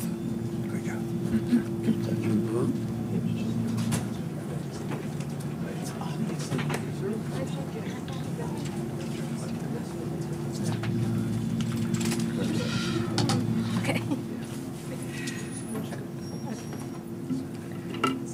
So, um, okay, I think I'm, I'm going to start, correct? Okay. Thank you for inviting me to testify. I'm an economist, and I've been developing, I'm Jeanette Barth. I am an economist, and I've been developing economic models and conducting economic analyses for over 35 years. For over three years, I've been dedicating much of my time to investigating the potential economic impact of shale gas development in New York. I have no financial interest related to shale gas development other than as a New York State taxpayer, landowner, and citizen. It's very clear that biased and inaccurate information is being spread by the gas industry and the press and our own DEC are repeating the false claims. Our decision makers in both Albany and Washington may be relying on this misinformation. Independent researchers not funded by the gas industry reach vastly different conclusions from the industry funded studies. The studies funded by the gas industry exaggerate benefits and ignore significant costs. They often use exaggerated reserve and production estimates, thereby overstating projections of jobs, income, and tax revenue. They ignore costs to communities, such as the costs associated with increased truck traffic, costs associated with increased demands on fire departments, police, hospitals, and social services. They ignore the fact that extractive industries are known for creating short-term booms followed by long-term busts. Industries that are not compatible with an industrial landscape or with potential water, air, and land contamination are likely to decline in the region. In New York State, examples of such industries that are vital to the region include agriculture, organic farming, tourism, outdoor recreation, winemaking, and hunting and fishing. And crowding out of many businesses is likely as well, leaving economically devastated communities down the road. Just look to Appalachia as an example of this. An ignored opportunity cost to upstate communities is the loss of future development as vast networks of pipelines are built, ruling out future building and economic development over or adjacent to the pipelines after the gas industry and its short-term jobs leave the area in a few years. We have recently learned that at least one major insurance company is unwilling to insure against the unique risks associated with fracking. If one cannot get a residential mortgage due to industrial activity on the property, or if one cannot get homeowner's insurance, or if drinking water becomes contaminated, home values and consequently property tax revenue may plummet. The limited and incomplete economic assessment done for the DEC SGEIS suffers the same fatal flaws of the industry-funded studies. Benefits are exaggerated and significant costs are ignored. And by the way, Eugene Leff with the DEC told me that the public will not be given a chance to comment on future revisions to the economic assessment. One of the studies not funded by the industry concludes, and I quote, counties that have focused on energy development are unperforming economically compared to peer counties that have little or no energy development. And a peer-reviewed article concludes, the areas of the United States having the highest levels of long-term poverty tend to be found in the very places that were once the site of thriving extractive industries. And another one concludes that there is clear evidence that resource-dependent counties in the United States exhibit more anemic economic growth. I looked at data on unemployment rates, income levels, and poverty rates in counties in New York State where we have had conventional gas drilling for a long time. I also looked at similar data for counties in Texas, where shale gas drilling has been going on for about a decade. These data support the peer-reviewed conclusions that residents in gas-intensive counties have overall not fared better than residents in other counties. Industry and government have touted shale gas as a means of lessening dependence on foreign energy sources and achieving a cheap and plentiful source for domestic energy consumption. Now it appears that the gas industry is seeking to export U.S. shale gas. Thus, we are putting in jeopardy the environment, public health, and economy of New York State in order to provide profits to the gas industry for supplying the economic development of China. That's not a trade I'd like to make. The oil and gas industry spends huge amounts of money on lobbying, political contributions, public relations, advertising, and even economic impact studies in order to spread falsehoods and hide the truth. Here is the truth. Extractive industries create boom and bust cycles, and communities in upstate New York are likely to be worse off economically in the long run if we allow shale gas development. The oil and gas industry is a highly capital-intensive industry, meaning that vastly more money is spent on equipment than on training and employing workers, who typically follow the rigs from state to state. Thus, encouraging oil and gas development is not an effective strategy for creating jobs in New York. With the industry curtailing production at the same time that energy users are being encouraged to convert to natural gas, and if our shale gas is sold in the global market, supply will be reduced at the same time that demand increases. Under those circumstances, the domestic price of natural gas is unlikely to remain low in the long run. The only parties likely to benefit in the long run from shale gas development in the Marcellus Shale are the gas companies and a very few lucky and large landowners, while serious long-term costs will be borne by the public and local communities.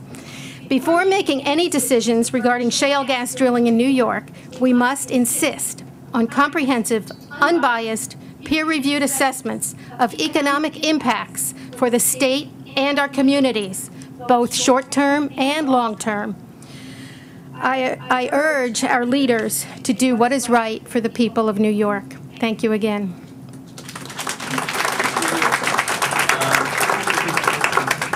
Elizabeth, why don't you go, and then we'll take questions for the, the panel. Thank you. Uh, Thank you, Senator Avella and colleagues, uh, for inviting me here today. My name is Elizabeth Radow.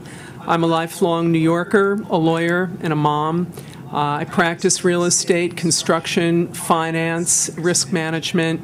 Uh, My article on homeowners and gas drilling leases, boom or bust, which was in the New York State Bar Journal magazine, shined a light on the impacts of the gas drilling on the secondary mortgage market. I chair the Committee on Energy, Agriculture, and Environment, which is for- formerly known as the Hydraulic Fracturing Committee for the League of Women Voters of New York State. My friend and colleague, Marianne Sullivan from the League of Women Voters, will be speaking today on behalf of the League. So it's my published research on the impacts of gas drilling and risk allocation that bring me here today. I speak on my own behalf and on behalf of homeowners impacted by fracking who have read my work and contacted me. These people tell me that they were glad when New York entered the discussion on fracking because New Yorkers are leaders, not followers. They asked me to ask Governor Cuomo if New York will preserve our water so we can be the go-to state when their water is consumed for fracking. Almost one year ago, Hurricane Irene and Tropical Storm Lee flooded New York's southern tier and regions Governor Cuomo recently targeted for possible hydraulic fracturing.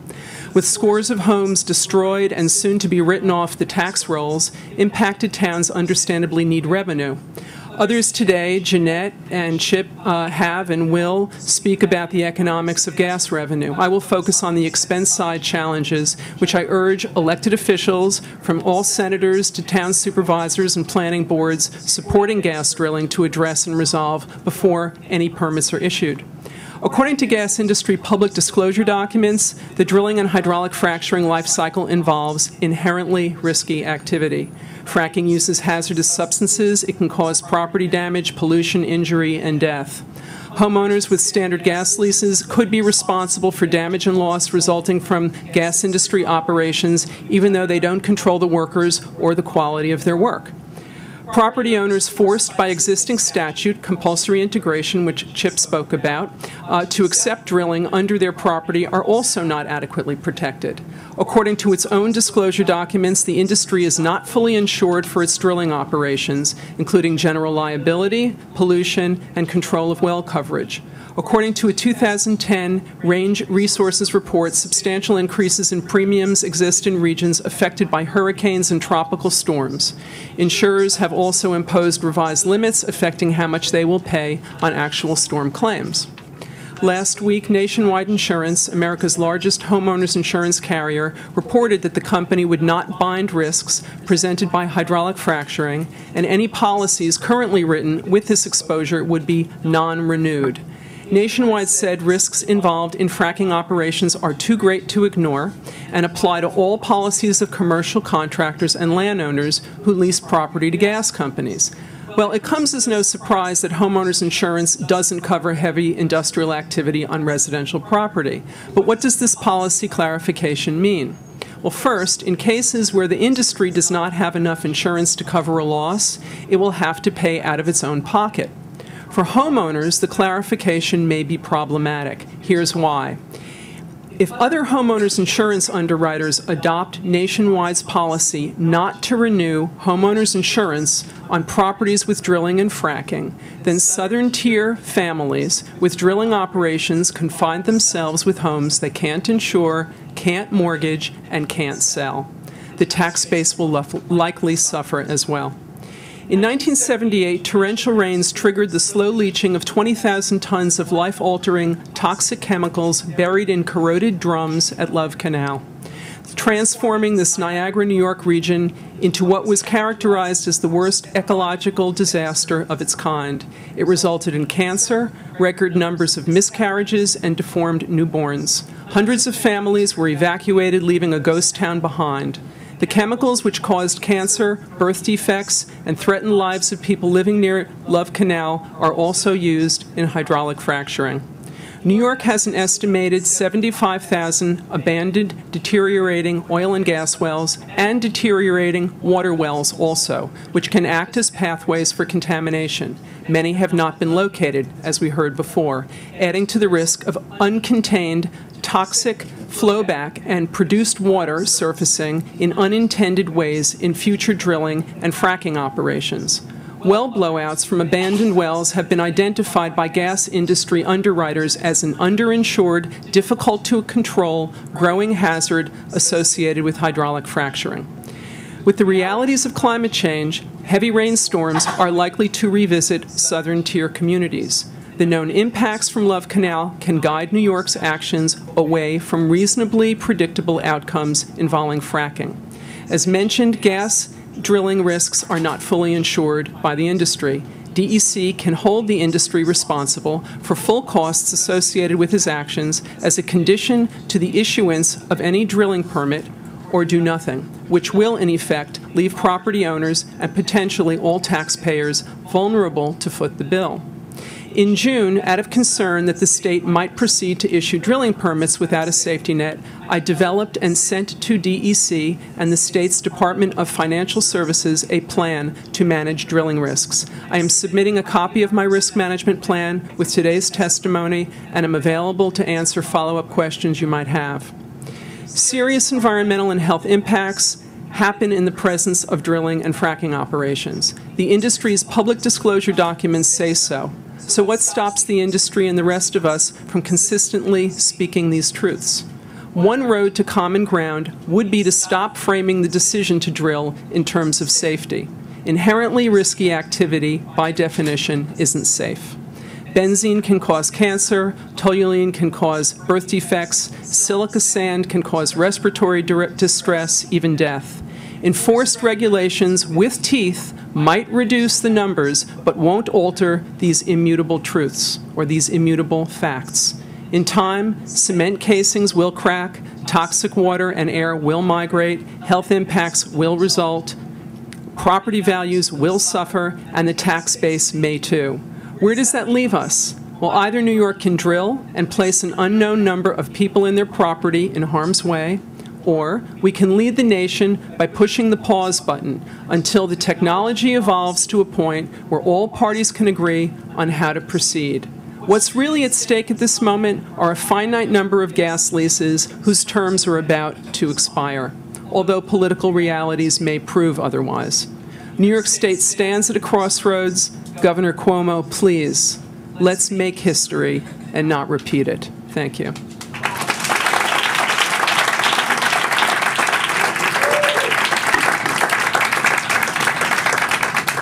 I have one question, then uh, Senator Krueger has a question, and Senator Montgomery. Um, now that Nationwide has come out with this statement, I guess last week, will other insurance companies, in your opinion, sort of follow suit?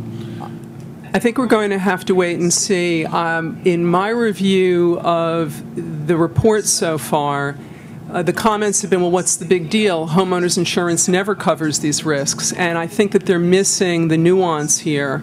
Um, this is potentially, whether or not we drill in New York State, in my opinion, a very, very serious problem, and so much so that I've been in touch with the FHFA now for almost a year when I first identified that this was going to be a problem. We've got a $6.7 trillion secondary mortgage market. It is not possible to have a mortgage without homeowners insurance. It's possible to sign a gas lease and not tell the, to, you know, your lender, and if everything goes okay, they'll never know about it. But mortgage, you know, insurance rather, is renewed every year. And if your insurance isn't renewed, your lender will find out about it. Um, so it's my belief that yes, they will, because they're going to wake up now. Nationwide's a big company, and what they're saying is, as, as I understand it, and I think this is going to be played out over time, we're not going to cancel your policy, but if the drilling activity begins on a property with a gas lease. Maybe you can even sign a gas lease, and if we do nothing, we'll leave you alone. But if the drilling begins, we will not renew your policy. So now you're going to have to go to somebody else. In my risk management plan, one of the line items that I've, I've included is the obligation on the part of the industry to fund homeowners insurance. Now, whether or not that's doable, I don't know. But I'm considering these as construction sites, if you will, because they are. They're much more hazardous, but why don't we think about them that way? Everyone in the spacing unit should be named as an additional named insured on a policy for a general liability and whatever, and the pollution and whatever else might happen, so that they don't have to go after the companies and sue them, but they should be protected as would anybody who's having construction on their property. And we'll see where that goes. Senator Krueger. Thank you. And in fact, uh, Tony asked one of the first questions I was going to ask. I want to thank both of you for testifying. I've, I've worked with you both and heard, read your materials and heard you testify. Um, But Elizabeth, because of the new realizations of insurance or lack thereof, just to double check, even if your neighbors get a well and drill because of the state law where that means things can happen to you, that can also be a basis for um, an insurance company to say, no, we know it's not your property, but it's still not something we're going to insure. Is that correct? Oh, this, I, well, this is not in the statement. Again, this was a very succinct statement. As I understand it, this was something that was on a, you know, this was leaked to the press. Frankly, it's very important that it was because we need to get out ahead of this. As I said, we're, we're drilling in states all over the country. And there was somebody in Pennsylvania recently who applied for a mortgage. He does not have a gas lease, and he was denied the mortgage because there's drilling going on within a short distance of his home. We hear these hearings, we hear these stories all the time. There's this wo- wonderful woman, Jamie Fredericks, in Ohio, who had compressor activity on the other side of her property this lovely woman became very ill. She's um, had surgery and she consumed the water that nearly killed her. Um, and her home's value has nearly plummeted. I- I- insurance companies are not in the business of giving out money if they don't need to. And so I think that once they start to understand the risks involved and parse them out, I think we're going to see the people, whether or not they have gas leases, whether or not they're forced in, if they live in proximity, we're going to have to watch this unfold and figure out is this a runaway train? I don't have a grasp on it. I'm trying to stay ahead of it, but I think that we really do need to look at the ripple effects because I think they could be significant. Because New York State doesn't even keep a master list of where the contracts um, have been let for allowing um, the leases, if I'm an insurance company and I want to establish this policy, how do I know where all these leases and potential drilling is going to take place? Well, this is actually one of the things that we, I'd put in comments. We, we would like to see all of the leases recorded. And I think in many cases, the memoranda of leases are recorded. Uh, It's in the best interest of the industry to put the world on notice, but I think they don't want to put the world on notice of all of the terms of those leases necessarily. Um, I, I would like to see a registry that has not only the leases, but the mortgages. And uh, this is something that I've actually proposed to FHFA and I'd like to be working on. I think we need to be thinking about this again, whether or not we do this in New York. I want to make a point. Many people sitting in this room have our retirement funds invested into the secondary mortgage market. So whether or not we drill in New York, we care that the secondary mortgage market thrives, and we have to make certain that these homes on which we're drilling do not have the property value compromised, because that will compromise the value of our retirement investment. And may I ask another question? Thank you. And Jeanette, so, you you know, you've worked on the economics of all this, and I don't know whether you were here earlier when um, I asked the question about if all of this is just a land flipping Ponzi scheme story, what is, what are the economics of that for New York? Is that like a win-win somehow bizarrely? That everybody got to sell their land for more money than they thought it was worth, and thank goodness nobody's ever going to drill anyway? Remember, most of the, most of these are leases we're talking about, and flipping leases is what we're talking about. And um, so, no, a lot of people didn't really sell their land for a lot of profit. Um, And uh, that, that, I've heard that as well, like a land grab, that's what it was with Chesapeake Energy, for example. And um, I really recommend the work of Deborah Rogers, I think Chip mentioned that name. Um, She's done a lot of work on explaining this very, very clearly, but that's, um, nobody benefits, and as I've always said, in the long run, the only parties that are going to benefit are the gas companies and a few lucky and large landowners. Um, could I add one thing here I left out of my testimony, but I think it's important given some of the talk I heard uh, Chip mentioned a, uh, you know, the lack of a severance tax, and that's really important because no money was going to go to New York State unless we have a severance tax or something like it. Um, and I know that the supporters of gas drilling are often touting the ad valorem tax as a great tax revenue for the communities.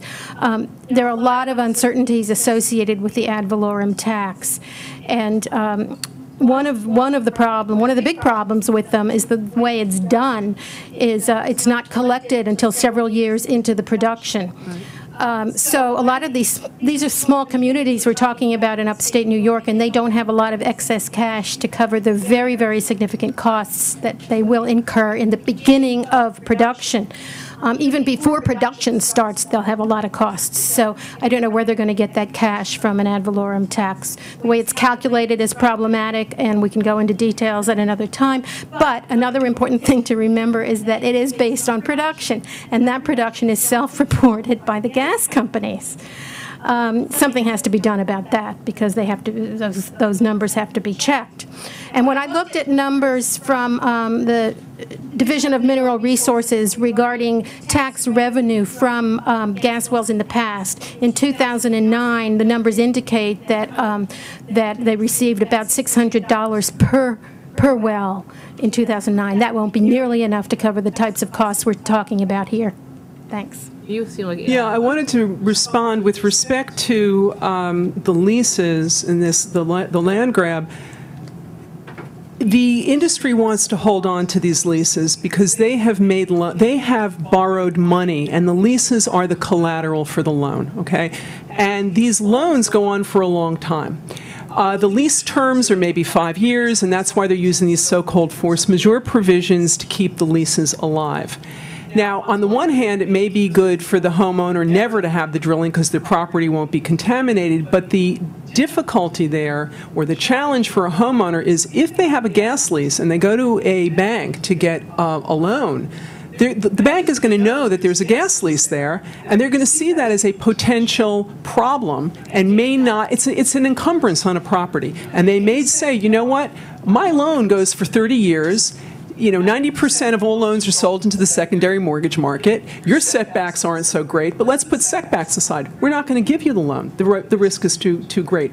So it's not really a win-win for, for people who have signed ga- gas leases. Uh, whether or not they made enough money up front, you know, maybe some of them, they'll never be drilling activity, and frankly, that would probably be the best thing that could happen to them, in my opinion. Thank you, thank you. Thank you. Senator Montgomery? Yeah, I think my question has been answered. I- It sounds to me uh, like um, if you are a property owner, and because the regulations in our state for setbacks or distance between the uh, property, your property, and a well uh, are so weak, um, that um, my neighbor could have a lease. I don't choose to be involved, but because of the proximity of the well to my property, um, I also may not be able to um, have insurance uh, on my property or to be able to get a mortgage. Well, the, the, there's a lot of focus on the distance between the residence and the vertical well, but one of the things we should keep in mind, and again, I've spoken to the FHFA about this, is that there's also horizontal activity going on, and this is a multi-step process. There are compressor stations, there's heavy industrial activity going on, there's waste retention going on. If we just look at the distance between the wellbore, the vertical wellbore, and the house, conceivably, you could put waste disposal in between that distance and not be violating a setback. That doesn't make sense, obviously. Um, It's my belief that people who are underwriting the loans don't understand the multi-step process involved. Why would they? So we really do have to have an education campaign for people who are insure, who are underwriting both loans and mortgages. And in specific answer to your question, yes, people living next door who haven't signed leases may also be, you know, denied, and I think we're going to have to look at that. I think this story will unfold. So entire communities could be impacted even though half or more of the people don't want to be involved. Again, this man uh, applied for a mortgage and he was denied, even though he didn't have a gas lease, refinancing in Pennsylvania. Sure. Um, Do you have will you leave with us copies of your testimony? Yes, and I've given it to Rebecca, sure. Proposals that you, you Yes, have? and I'd be happy at any time, um, you've got my contact information, I'd be happy to speak to you. I live in uh, Westchester County, I'd be happy to come into the city and sit down with you anytime. Thank you. Okay, thanks. Thank you. Wait, wait, one last question, and I guess this is uh, for Jeanette. You know, one of the things that drives me crazy um, from when I hear the supporters of hydrofracking, they keep throwing out this number of 70,000 jobs were created in Pennsylvania, um, which we don't believe is true, totally manufactured number. But can you comment on that? Where did this 70,000 number ever come from? Um, I've heard various numbers. The 70,000, um, if I'm correct, came from one of the multiple studies that were funded by the gas industry. Um, They use uh, typically, uh, uh, I think this one came from a study that used something called input-output analysis. And um, there are a number of technical reasons why input-output analysis is not accurate as a predicting tool um, in this particular application. Um, I could go through a lot of details, and I have in my writing, but um, uh, uh, first of all, they don't, they don't, it doesn't reflect declines in other industries that I talked about. It doesn't reflect the fact that what input-output analysis always assumes is that um, um, every every individual has the same spending patterns. And this is certainly not true in the gas industry where we have transient workers coming in and spending most of their income in their home states like Texas and Oklahoma where their families are. Um, these models are all assuming that all of these people are, are, are residents here and are spending all their money here in New York, and that's just not true. And there are a number of more technical reasons why it's not uh, an appropriate um, technique. However, in one of the um, studies, I think I had seen also, I think they, at one study had shown something like 90,000 uh, jobs. But in that same year, that 90,000 were supposed to be created, I believe, as I recall, when I looked at the actual data from the Department of Labor, there were actually only, um, there were far fewer than that total jobs created in the entire state of Pennsylvania, and half of those were in um, education and health, and, and the other half were in leisure and hospitality. So it wasn't even as though um, their numbers don't match up. with- uh, We know that those numbers don't even match up with the, the the unbiased, publicly available data, and I've seen that time and time again. Put words in your mouth, would you say that those figures are greatly exaggerated? Greatly exaggerated, yes. Good, thank you. Thank you.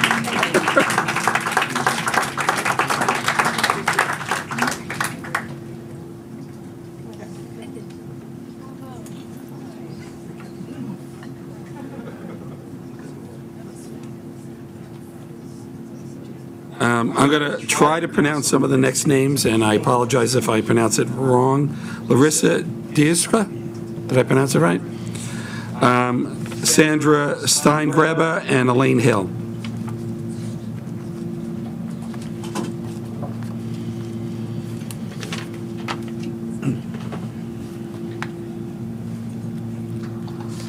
Printed out all those materials you emailed us. We'll have somebody pick that up from you, you don't have to.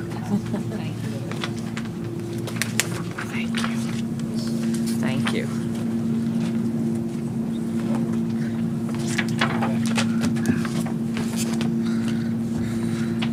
Why don't you start first?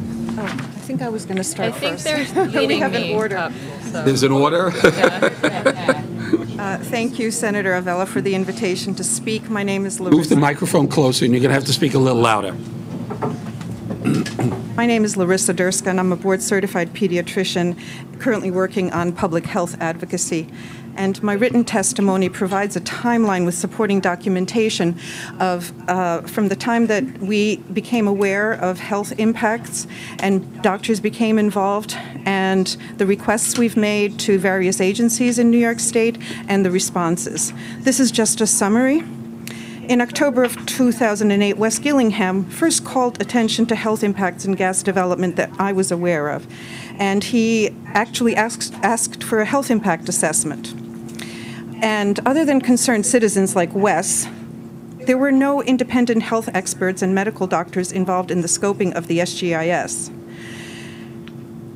I first looked at the document, the SGEIS, um, in 2009, so this was a year after um, the scoping part, and locating any health information was nearly impossible as there was no chapter on human health. So I picked out areas that I was concerned about and that specifically were, um, and which were glaringly omitted. And as a pediatrician, I was looking for children's health.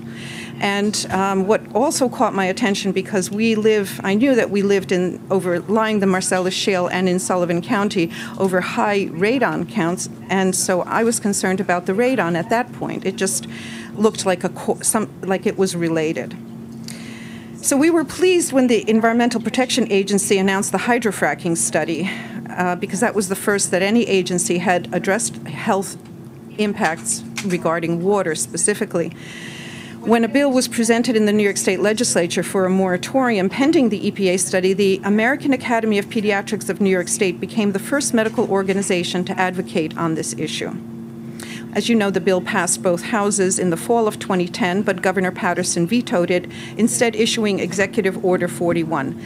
The resolution concluded with the recognition that the regulatory conditions be protective of public health and the environment. So we were encouraged by the governor's reference to public health protections, although we had no idea what the comments were uh, that comments were never submitted on the SGEIS publicly, uh, and they still haven't been from the first draft of the SGEIS.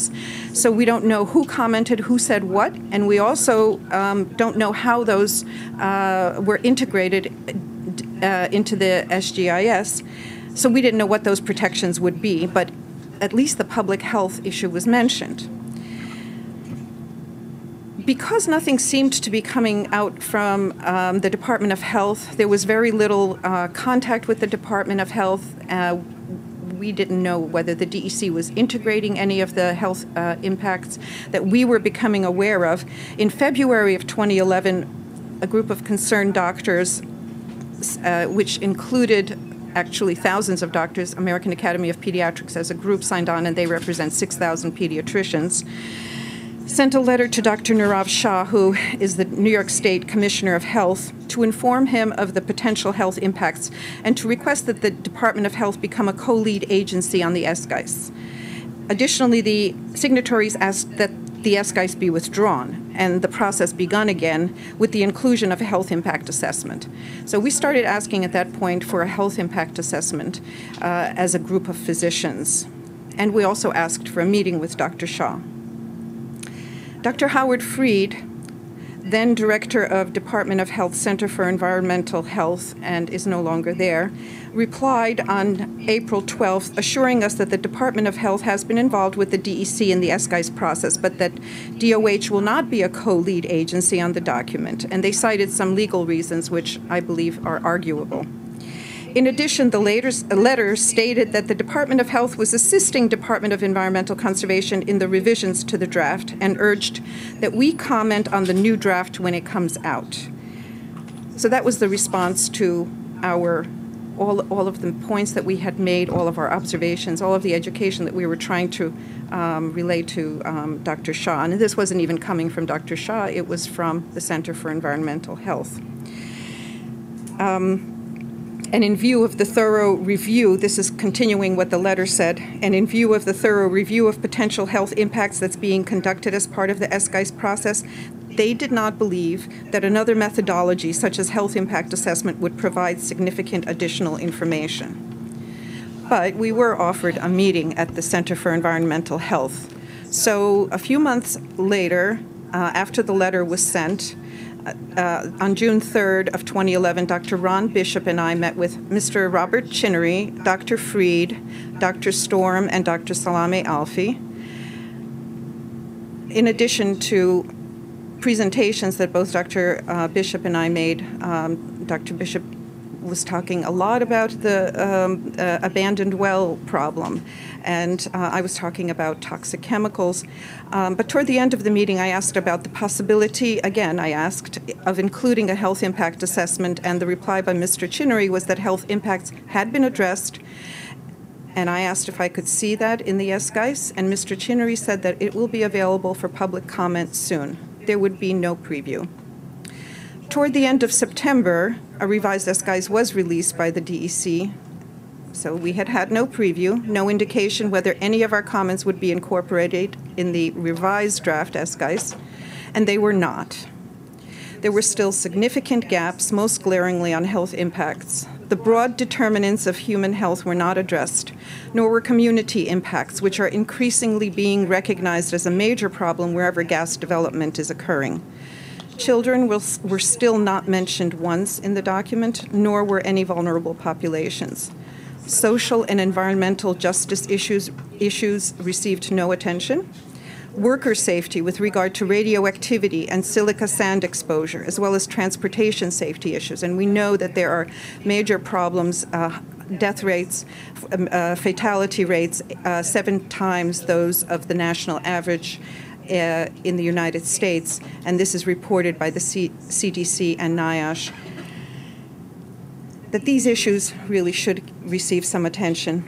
Um, so besides that, health infrastructure would need to be addressed. These costs that communities were going to have to be uh, are going to be facing upfront costs um, and also social issues such as uh, increased drug use and sexually transmitted diseases, all of that needs to be prepared for.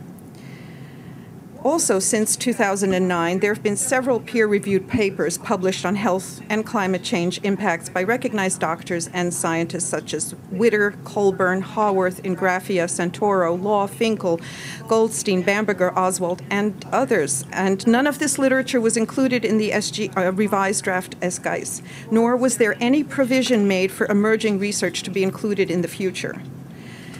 Public health, independent scientists, and medical professionals continue to be disregarded.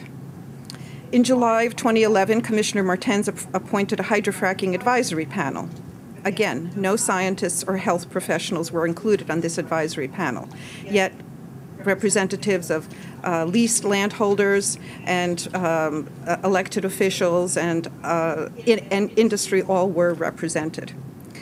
Because the DEC seemed to be ignoring the signs, a letter was sent to Governor Cuomo on October 5th of 2011 from health professionals requesting that he order a health impact assessment. There was no reply from his office. Further, going, going the next step, as the budget was being drafted in March of 2012, several medical organizations called for the inclusion of a health impact assessment, and that included the American Academy of Pediatrics of New York State, the Medical Society of the State of New York, New York State Nurses Association, the University of Rochester Medical Center, the New York State Academy of Family Physicians, and Healthy Schools Network. It was not included. And neither has the governor issued an executive order directing that an HIA be done. Medical doctors and independent scientists are overwhelmingly in support of allowing science to direct the path that gas development will take in New York State. But first, the scientific literature must be embraced and doctors and scientists invited to the table. It's been clear that the administration of New York State has been given ample opportunity to study the science that has been handed to them time and time again, as well as to understand processes intended to be protective of human health, such as the health impact assessment. But instead of accepting the science and the recommendations of thousands of New York doctors and scientists, and openly and transparently conducting discourse with them, they have chosen to collaborate with industry and to shut the door to science. Thank you.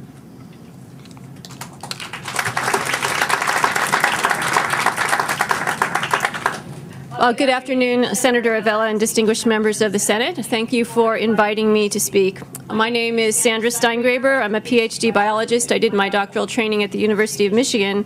I currently serve as the distinguished scholar in residence within the Department of Environmental Studies at Ithaca College, and for the last 20 years, I have been working in the field of environmental health. And in that capacity, I've had the honor of serving on a number of public health advisories. Um, I've included some of those in my written comments to you.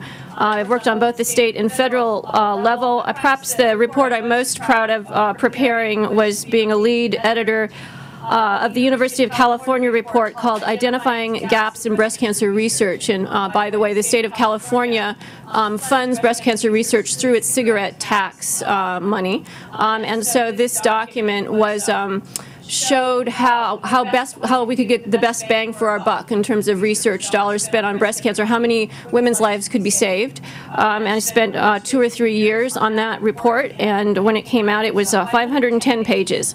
And I thought that was pretty monumental until I read the revised draft supplemental environmental impact statement for hydraulic fracking, uh, the SGEIS, which is three times as long and weighs 15 pounds. I wish I could say that the S SGEIS is three times as thorough. It is not. Uh, the scientific review upon which the decision to permit or prohibit hydrofracking in our state is to rest on arbitrary data, uh, which dresses up assertions as fact with no supporting empirical evidence.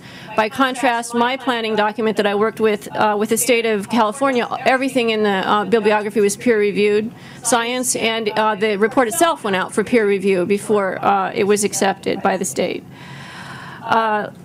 Instead, uh, the SGEIS makes no attempt to evaluate the effects of shale gas extraction on public health or even to quantify the medical cost. Instead, it simply denies that the health impacts exist at all. And to put a finer point on this, if you go to the bibliography in the SGEIS, um, on this section that's headed potential environmental, potential health effects of fracking, the first entry in that bibliography uh, is a document by the American Petroleum Association. So last month, uh, the Gannett journalist John Campbell reported that the, uh, the state's county health departments had last January expressed grave concerns about the omission of health in a pair of reports to the state's 18-member uh, fracking advisory panel. However, right before the panelists could see the report or meet with its authors, the panel itself was placed on hiatus. And when I read about the disappearance of this set of uh, public health documents, I actually felt better because it helped explain a pattern of refusal by both the Department of Environmental Conservation and the Governor's Office to acknowledge similar communiques submitted by New York's doctors and scientists, including some of the ones that I've prepared, and certainly, as you've heard, Dr. Dyrszka as well. Now, I brought with me some of the statements that I've uh, worked on, which I can submit to you. The first two are a pair of letters that I wrote to DEC Commissioner Joseph Martens shortly after he and I were both keynote speakers at an EPA conference on environmental health. And in these letters, I detailed new research findings on fracking-related air pollutants and associated risks for heart disease. I received no response. The third is a letter from October 11th signed by many hundreds of health professionals and scientists. It asked the DEC for a comprehensive health assessment. We received no reply. The fourth, from December of 2011, is a fully referenced review that speaks directly to the cancer risks posed by drilling and fracking operations. It's signed by dozens of cancer advocacy organizations representing more than 100,000 New York cancer survivors and their physicians. No reply from the DEC. By contrast, the gas industry's uh, concerns and queries over the same time period were met by much more than stone walls by the DEC. So now we know, thanks to the Environmental Working Group, that, uh, that it's, the industry representatives enjoyed throughout the period of the SGEIS's creation and revisions, lively email exchanges, phone conversations, face-to-face -face meetings, and at the very least, sneak peeks at the manuscript in progress.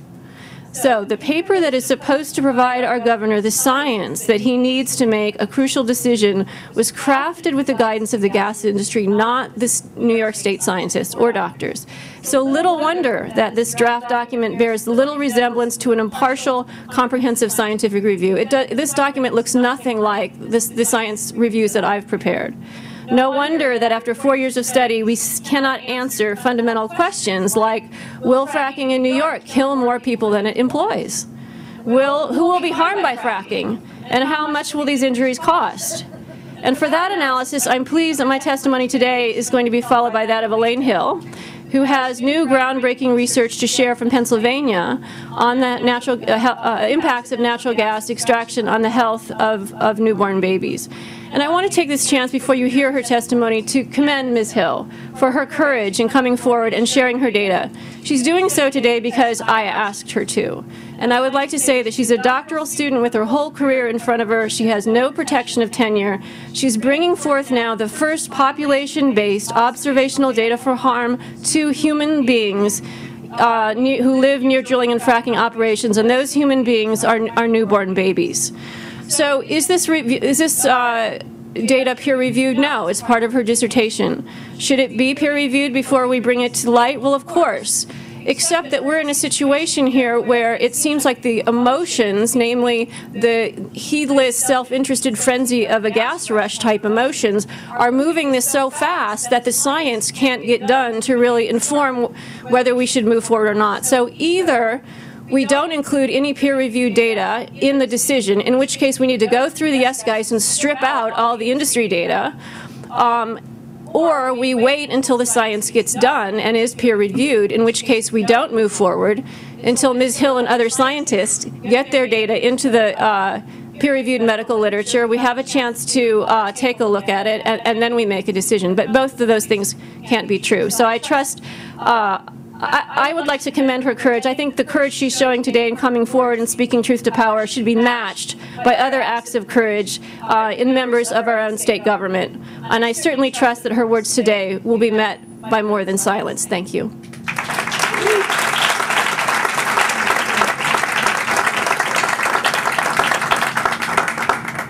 Good afternoon, Senator Avella and distinguished members of the Senate, wherever they went. Thank you for this opportunity to testify today.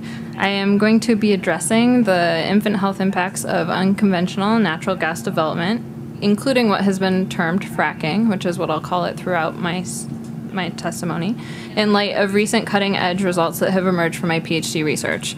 My name is Elaine Hill, and I am a PhD student in the Dyson School of Applied Economics and Management at Cornell University. While my areas of expertise include health economics and econometrics more broadly, my dissertation research investigates specifically the infant health impacts of unconventional natural gas development in the states of Pennsylvania, Colorado, and Texas. Today, I will share with you results from the first working paper to come out of this effort, which focuses on the applicable case of Marcellus shale drilling in Pennsylvania. While not yet submitted for publication, this work has benefited from the reviews of several experts in the field and was presented at the Population Association of America meetings in May. The complete draft, under the working title of Unconventional Natural Gas Development and Infant Health Evidence from Pennsylvania, was included with my written testimony. Drilling in Pennsylvania began in 2006, and by the end of 2010, there were over 4,000 wells. With this expansion, it is becoming increasingly common for fracking to take place in close proximity to where people live, work, and play. Serious environmental and health concerns have emerged regarding fracking, which outweigh the benefits of the technique, which may outweigh the benefits of the technique. There have been no robust observational studies that can be used concretely to inform policy to date. My research attempts to fill this gap. There is a strong rationale for focusing on infant health impacts building evidence indicates that poor health at birth is indicative of long lasting negative health outcomes over the life course, poor educational attainment and employment status, mental illness, and uh, even intergenerational transmission of poor birth outcomes to the next generation. In the interest of time, I will not discuss my research methods in great detail. However, I'm happy to answer any questions about them. Preliminary results suggest that proximity to wells have both statistically and economically significant effects on infant health. A mother's exposure to fracking before birth increases the overall prevalence of low birth weight by 25%, increases overall prevalence of small for gestational age by 17%, and reduces average five minute APGAR scores low birth weight is of primary concern for not only healthcare practitioners, but society at large and hence policymakers. It is associated with a host of adverse outcomes and often means lifelong disability. Small for gestational age and low APGAR scores are correlated with the likelihood to require uh, respiratory res support, longer hospital stays, neonatal intensive care, and infant mortality. According to current estimates, a single low birth weight infant costs society on average $51,000 during the first year of life. This is likely a severe underestimate, as it does not include parental lost earnings or additional educational, health, and social support over their lifetime. Using this as a lower bound, however, my estimates in Pennsylvania suggest that the cost of all infants exposed before birth to fracking would be $2.2 million. If all permits issued as of 2010 by the Pennsylvania Department of Environmental Protection were actually drilled, the cost would be closer to $20 million at this time. And I don't include 2011, so stay tuned. Uh, while not, in, not comprehensive, um, or excuse me, These estimates not only identify a large societal cost that is not currently included in the cost-benefit analysis of fracking, but raise questions about what longer-term exposures will mean for families. The regulation suggests it is safe for people to live 300 feet from gas drilling, while my research suggests that it is not safe up to a distance of at least three miles for families with pregnant women. This indicates, in the very least, that policymakers need to reevaluate regulations regarding allowable proximity of gas drilling to residences, schools, and hospitals. While not comprehensive, this study shows that under the current regulatory framework, fracking does involve risks to human life, and further research into these health impacts is clearly warranted.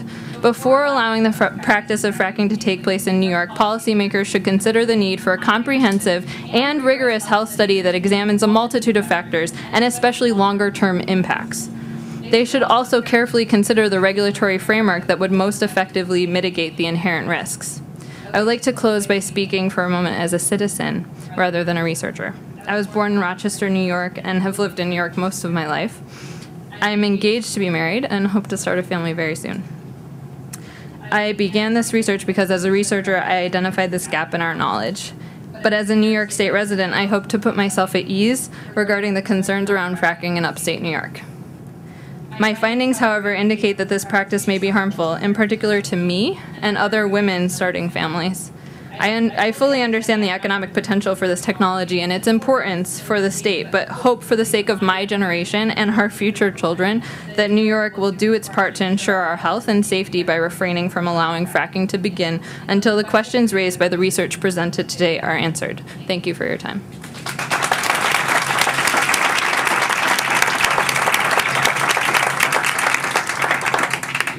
Your testimony, Senator Krueger has a question, then I have one question. Uh, One, thank you for your testimony. So, Dr. Dyrszka, we have worked together before, um, and I just want to get everybody's name right, Dr. Steingraber and almost Dr. Hill. Just for the record, it is so crucial that you come out and you testify, so thank you for taking the risk, because I do understand that from the academic perspective the concept for me, and I've and I've been working and read Larysa's materials that she's been forwarding on behalf of the medical community now for several years.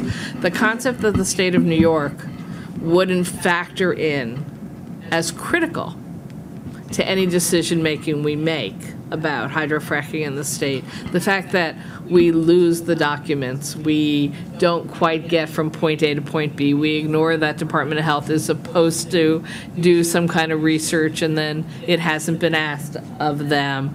We have findings from healthcare professionals and researchers. I mean, you people are not chopped liver, you're the real thing. Okay, you're scientists and you keep coming forward and saying there are real health concerns here, they have to be factored in. Um, that frankly, I'm appalled that the state of New York isn't listening to you. So I want to thank you very much for coming and being persistent and continuing to send your materials. And hopefully, the public and the press are listening because, you know, we can imagine what the movie afterwards will look like about when the bad things happened in New York. But who wants to live through that, right? So thank you for testifying. And I apologize, I have a conference call I have to go run and get on right now. But thank you again. Thank you, Tony. You know, I also, uh, you know, some of the, your comments about sending letters to the governor and DEC and not getting answered, it's similar to some of the testimony that we heard earlier. I, I have to say, it's, to me, as a person who um, answers every single letter that I get as an elected official, to have the governor of the state of New York and the agency that's supposed to be responsible, whether it's Department of Health or DEC, not respond to scientists or even average day citizens, I mean, it's just an absolute disgrace. The one thing I wanted to ask, and whomever wants to respond to this, you can. The Senate Democratic Conference has been totally in support of having a health assessment and also a seismic assessment done before hydrofracking is allowed. We um, have tried to get an answer out of DEC and Health and the governor's office. And the only response we get is, well, we can't study the health until we actually have hydrofracking. You know, now I'd like you just to answer that response because I think that's absolutely ridiculous. But I'm not the expert, you're the experts. You're the scientists, you're the doctors. Right. Um, and we've, we've uh, educated through our letters uh, all the departments in, and the governor's office. Hopefully, hopefully, they've read the letters, but we have described the process of health impact assessment. And it's intended to be done before a particular land use decision is implemented. It is supposed to inform the decision makers of the risks uh, so that there could be a decision made whether or not you should go forward with it if it's too risky. If its risks are tolerable, what are the recommendations for mitigations? Or, you know, you can just, it can be decided or recommended that no mitigations are necessary, but you need to do this beforehand. It involves many different public health tools, which is why it's, a, it's possible to do this before it, the process, uh, before uh, the land use decision is, is implemented, uh, because it includes surveys from other areas, opinions from experts from other areas, there could be a risk assessment done, which uh, is possible in, uh, for a particular chemical, but that's not the main part of a health impact assessment. So it involves many processes, and then all of that information is brought together and presented to the um, to the decision makers, and many stakeholders are involved. That's the other really um, uh, interesting and, and uh, useful part of this is many stakeholders, any stakeholder who wants to have their uh, opinion heard or has something to add is invited to the table. And it's transparent. So in, in many ways, it's very similar to environmental impact statement, but in many ways, it's very different in the way we would have envisioned it. Um, yeah, I would also like to add, in addition, that the, the health impact assessment is a tool specifically designed to understand what the health impacts will be before we carry something out. In addition, um, because New York stands uh, alone as one of the few states with this moratorium that's protected us, we have all around us unintended human experiments. So, you know, we're the control study across the border in Pennsylvania is the test case where we have inadvertently exposed people, um, uh, including pregnant women, um, to uh, air pollution, water pollution, and so forth. And so we can certainly let those data from looking at health effects across the border inform what we want to do, which is why uh, Ms. Ms. Hill's study is so crucial for us. And uh, she can speak for her study more if she, she likes. I, what, what uh, as a scientist and looking at her as an economy economist, what impresses me is that she was able to find what we in the um, uh, medical field would call a natural human experiment, meaning she could go in and look at hospital records of APGAR scores and birth weights before fracking came into a community and then compare them to after fracking came in. We don't have any studies um, other than kind of case studies uh, like that. And so the fact that she's seeing effects on babies that are greater than that of tobacco smoking. So if a mother smokes, we know it lowers, uh, the, it shrinks babies. It makes babies smaller and it, it, puts them at risk for all kinds of health effects later on down the line, which is why we engage in anti-tobacco work, especially for pregnant women. But she's seeing effects equal to or, or larger than th those effects. And so those are things that we can pay attention to here in New York and put some dollar signs on, um, as, as economists are, uh, allow us to do, um, so that we can actually balance the costs, both in suffering and in real dollars, against the so-called economic uh, benefits. So I just want to say that my dissertation will encompass two other states, and so I'll be replicating this. Um, in the interest of uh, any sort of scientific study, we want to replicate it. Uh, however, in the case of Pennsylvania, it's a very short window of time, and my results are really large, actually. And I do control for mothers smoking while they're pregnant. So um, these are actually birth certificate records. They're the entire universe of births in Pennsylvania, and they have detailed information about um, health at birth and also uh, condition of timing during pregnancy. So um, I control for those things. I control for mother's um, uh, education and her race and her age and um, and factors that we think would impact the health outcomes that I find of interest. Um, and I use the permits, which are handy, to identify um, the control group. So we know locations where drill a well is drilled in the future, and so I can determine um, determine that. And the distances that I'm looking at are very small. So the, the results that I presented today are less than, is, is about a 1.5 mile radius around a well. And those are, that's the size of the impact that we're finding, um, which um, I'm a little concerned about because it, it, it is much larger than what you would expect for smoking in pregnancy. To get back to my original question, one word or less, one word or less, it can't be two words or less. Um, when the state says they can't do a health assessment impact study because we don't have hydrofracking yet, one, two words or less. That's all I need to know. They're wrong. Okay, thank you.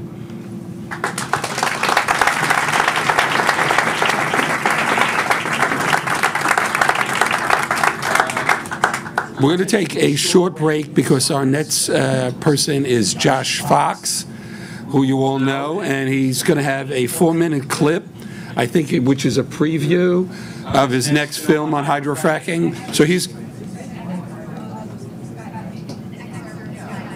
oh, an expert, okay, an excerpt. Um, So we'll take a few-minute break, a few minutes, while he sets up.